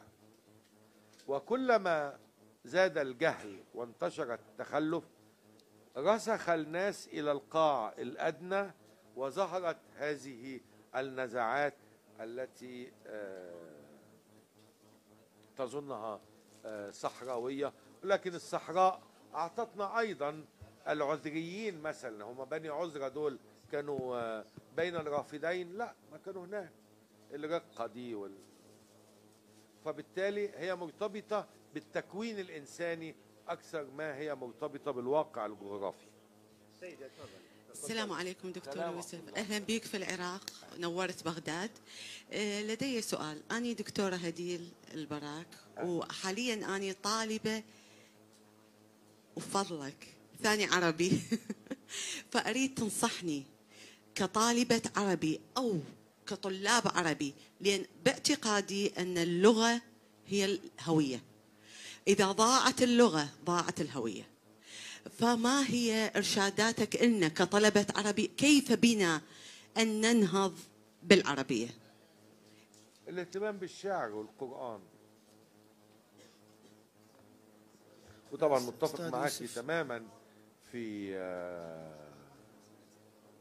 في مسألة أن اللغة آه، هي الهوية يعني الهوية هي الثقافة والثقافة هي كل مركب زي ما حسب تعريف تايلور المشهور هي كل مركب من حياة جماعة بكل ما يشتمل عليه هذا الكل المركب من لغة واعتقادات وعادات وتقاليد إلى إلى آخره. فاللغة هي التي تكشف ما هو مخبوء في الذهن. نعم. وهي التي ترسم العالم في مفردات معينة. وبالتالي يعني آه، وكما قال الشاعر جا- جت فرصة الشعر من أنا؟ هذا سؤال الآخرين ولا جواب له. أنا لغتي. أنا لغتي معلقة معلقتان عشر. هذه لغتي. أنا ما قلت للكلمات كوني ملتقى جسدي مع الأبدية البيضاء. كوني كي أكون كما أقول. شكرا دكتور. دكتور بس سؤال. مو كل إنسان آه، يقدر إنه يتبحر بالقرآن أو يحفظ قرآن ولا شعر؟ النصيحة العامة للنهوض باللغة على المستوى ال ال ال الوطني على المستوى ال ال العربي يعني. كيف ننهض باللغة؟ اللغة في اندثار.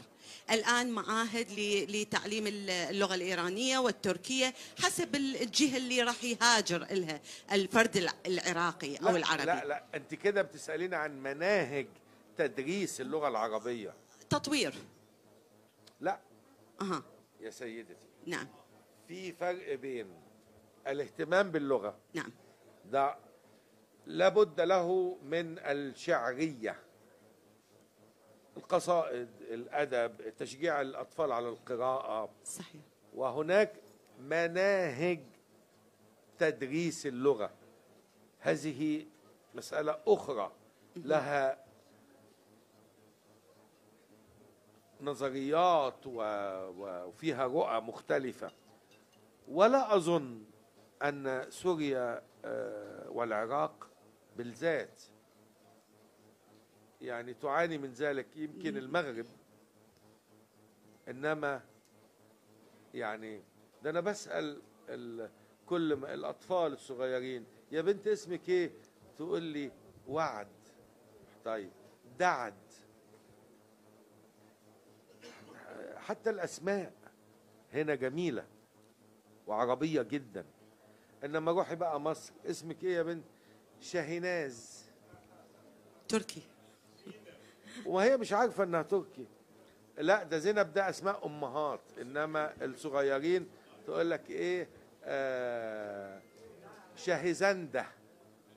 ولا حصلت تركي ولا فارسي ولا بس عجبهم الإيقاع الفوناتيك يعني. وهكذا. برهان. يعني إيه برهان؟ وهكذا. الناس هذا يعني أسماء مختلفة أو رنانه أو موسيقية بس من حيث لا يدروا ابتعدوا عن العربية. إن أنتوا هنا لسه محافظين على ده فبالتالي ما تقلقيش على العربي. شكرا. شكرا لك دكتور بلدك الثاني العراق. أهلا بيك. رحب بيك. آه. سؤالين عندي. السؤال الأول آه أنا ناشط المدني حيدر عبد الرحمن. السؤال الأول قتل الحلاج من أجل قضية سياسية أم قضية دينية؟ بعد ما أثبت القاضي أبو حامد أنه على الدين والسنة. آه السؤال الثاني. لا لحظة بس. نعم. قتل لا الحلاج. لا لحظة لحظة. نعم. اولا هو ما فيش القاضي لا هو الوزير ابن حامد. ال- القضاة كانوا ثلاثة ناس تانيين. وبعدين الحلاج والشبلي الاثنين كانوا بيقولوا نفس الكلام. إنما الحلاج كان عنده شعبية كبيرة. فخشي من شعبيته. والشبلي من أقواله المأثورة كنت أنا والحلاج شيء واحد فأهلكه عقله وخلصني جنوني لأن أول ما جم يقبضوا عليه عمل فيها مجنون. ودي كانت حيلة موجودة في الوقت ده على- عملها ابن الهيثم الحسن ابن الهيثم. عملها مرتين مرة في البصرة هنا ومرة لما جه مصر. عشان يخلص من المساءلة فيدعي الجنون. والشبلي مات سنة 320 هجرية بعد 11 سنة من مقتل ال- الحلاج. الذي يدلك على أنه آه، قتل سياسي هذا الإمعان الشديد يعني الناس تقول لي في الرسائل لما تروح بغداد زور قبر الحلاج. يعني إيه قبر الحلاج؟ إذا كان الراجل صلب وقطع وأحرق وذر رماده في في نهر دجلة. يبقى يعني فين مقامه إزاي يعني؟ لا هم أمعنوا في قتله آه، ليكون عبرة. مستعملين نفس الحجة اللي بتستعمل برضه دلوقتي. إنه داعي من دعاة ال- الشيعة الإسماعيلية. شكرا لك أستاذ. السؤال الثاني آه، شخصية عزازيل هل هي شخصية واقعية أم افتراضية؟ والشخوص كذلك في الرواية. افتراضية طبعا خيالية. ما شاء الله جهوري اتفضل الله يخليك.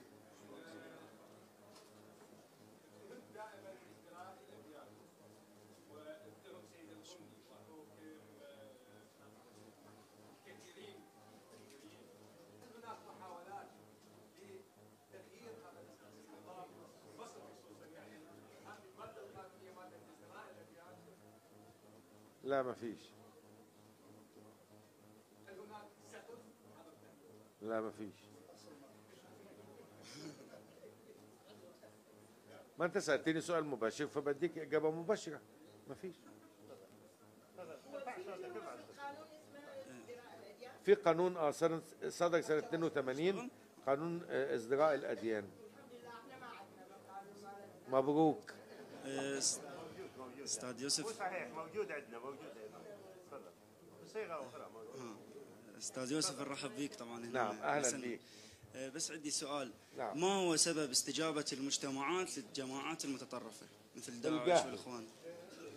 الجهل وإدراكهم أن هم فقدوا الدنيا فنوع من التعويض والعزاء أنه سيلحق بالآخرة. الاستبداد السياسي.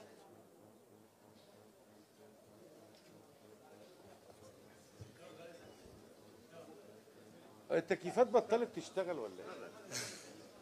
السلام عليكم. لا ما تشغلوا التكييف طبعا. آه.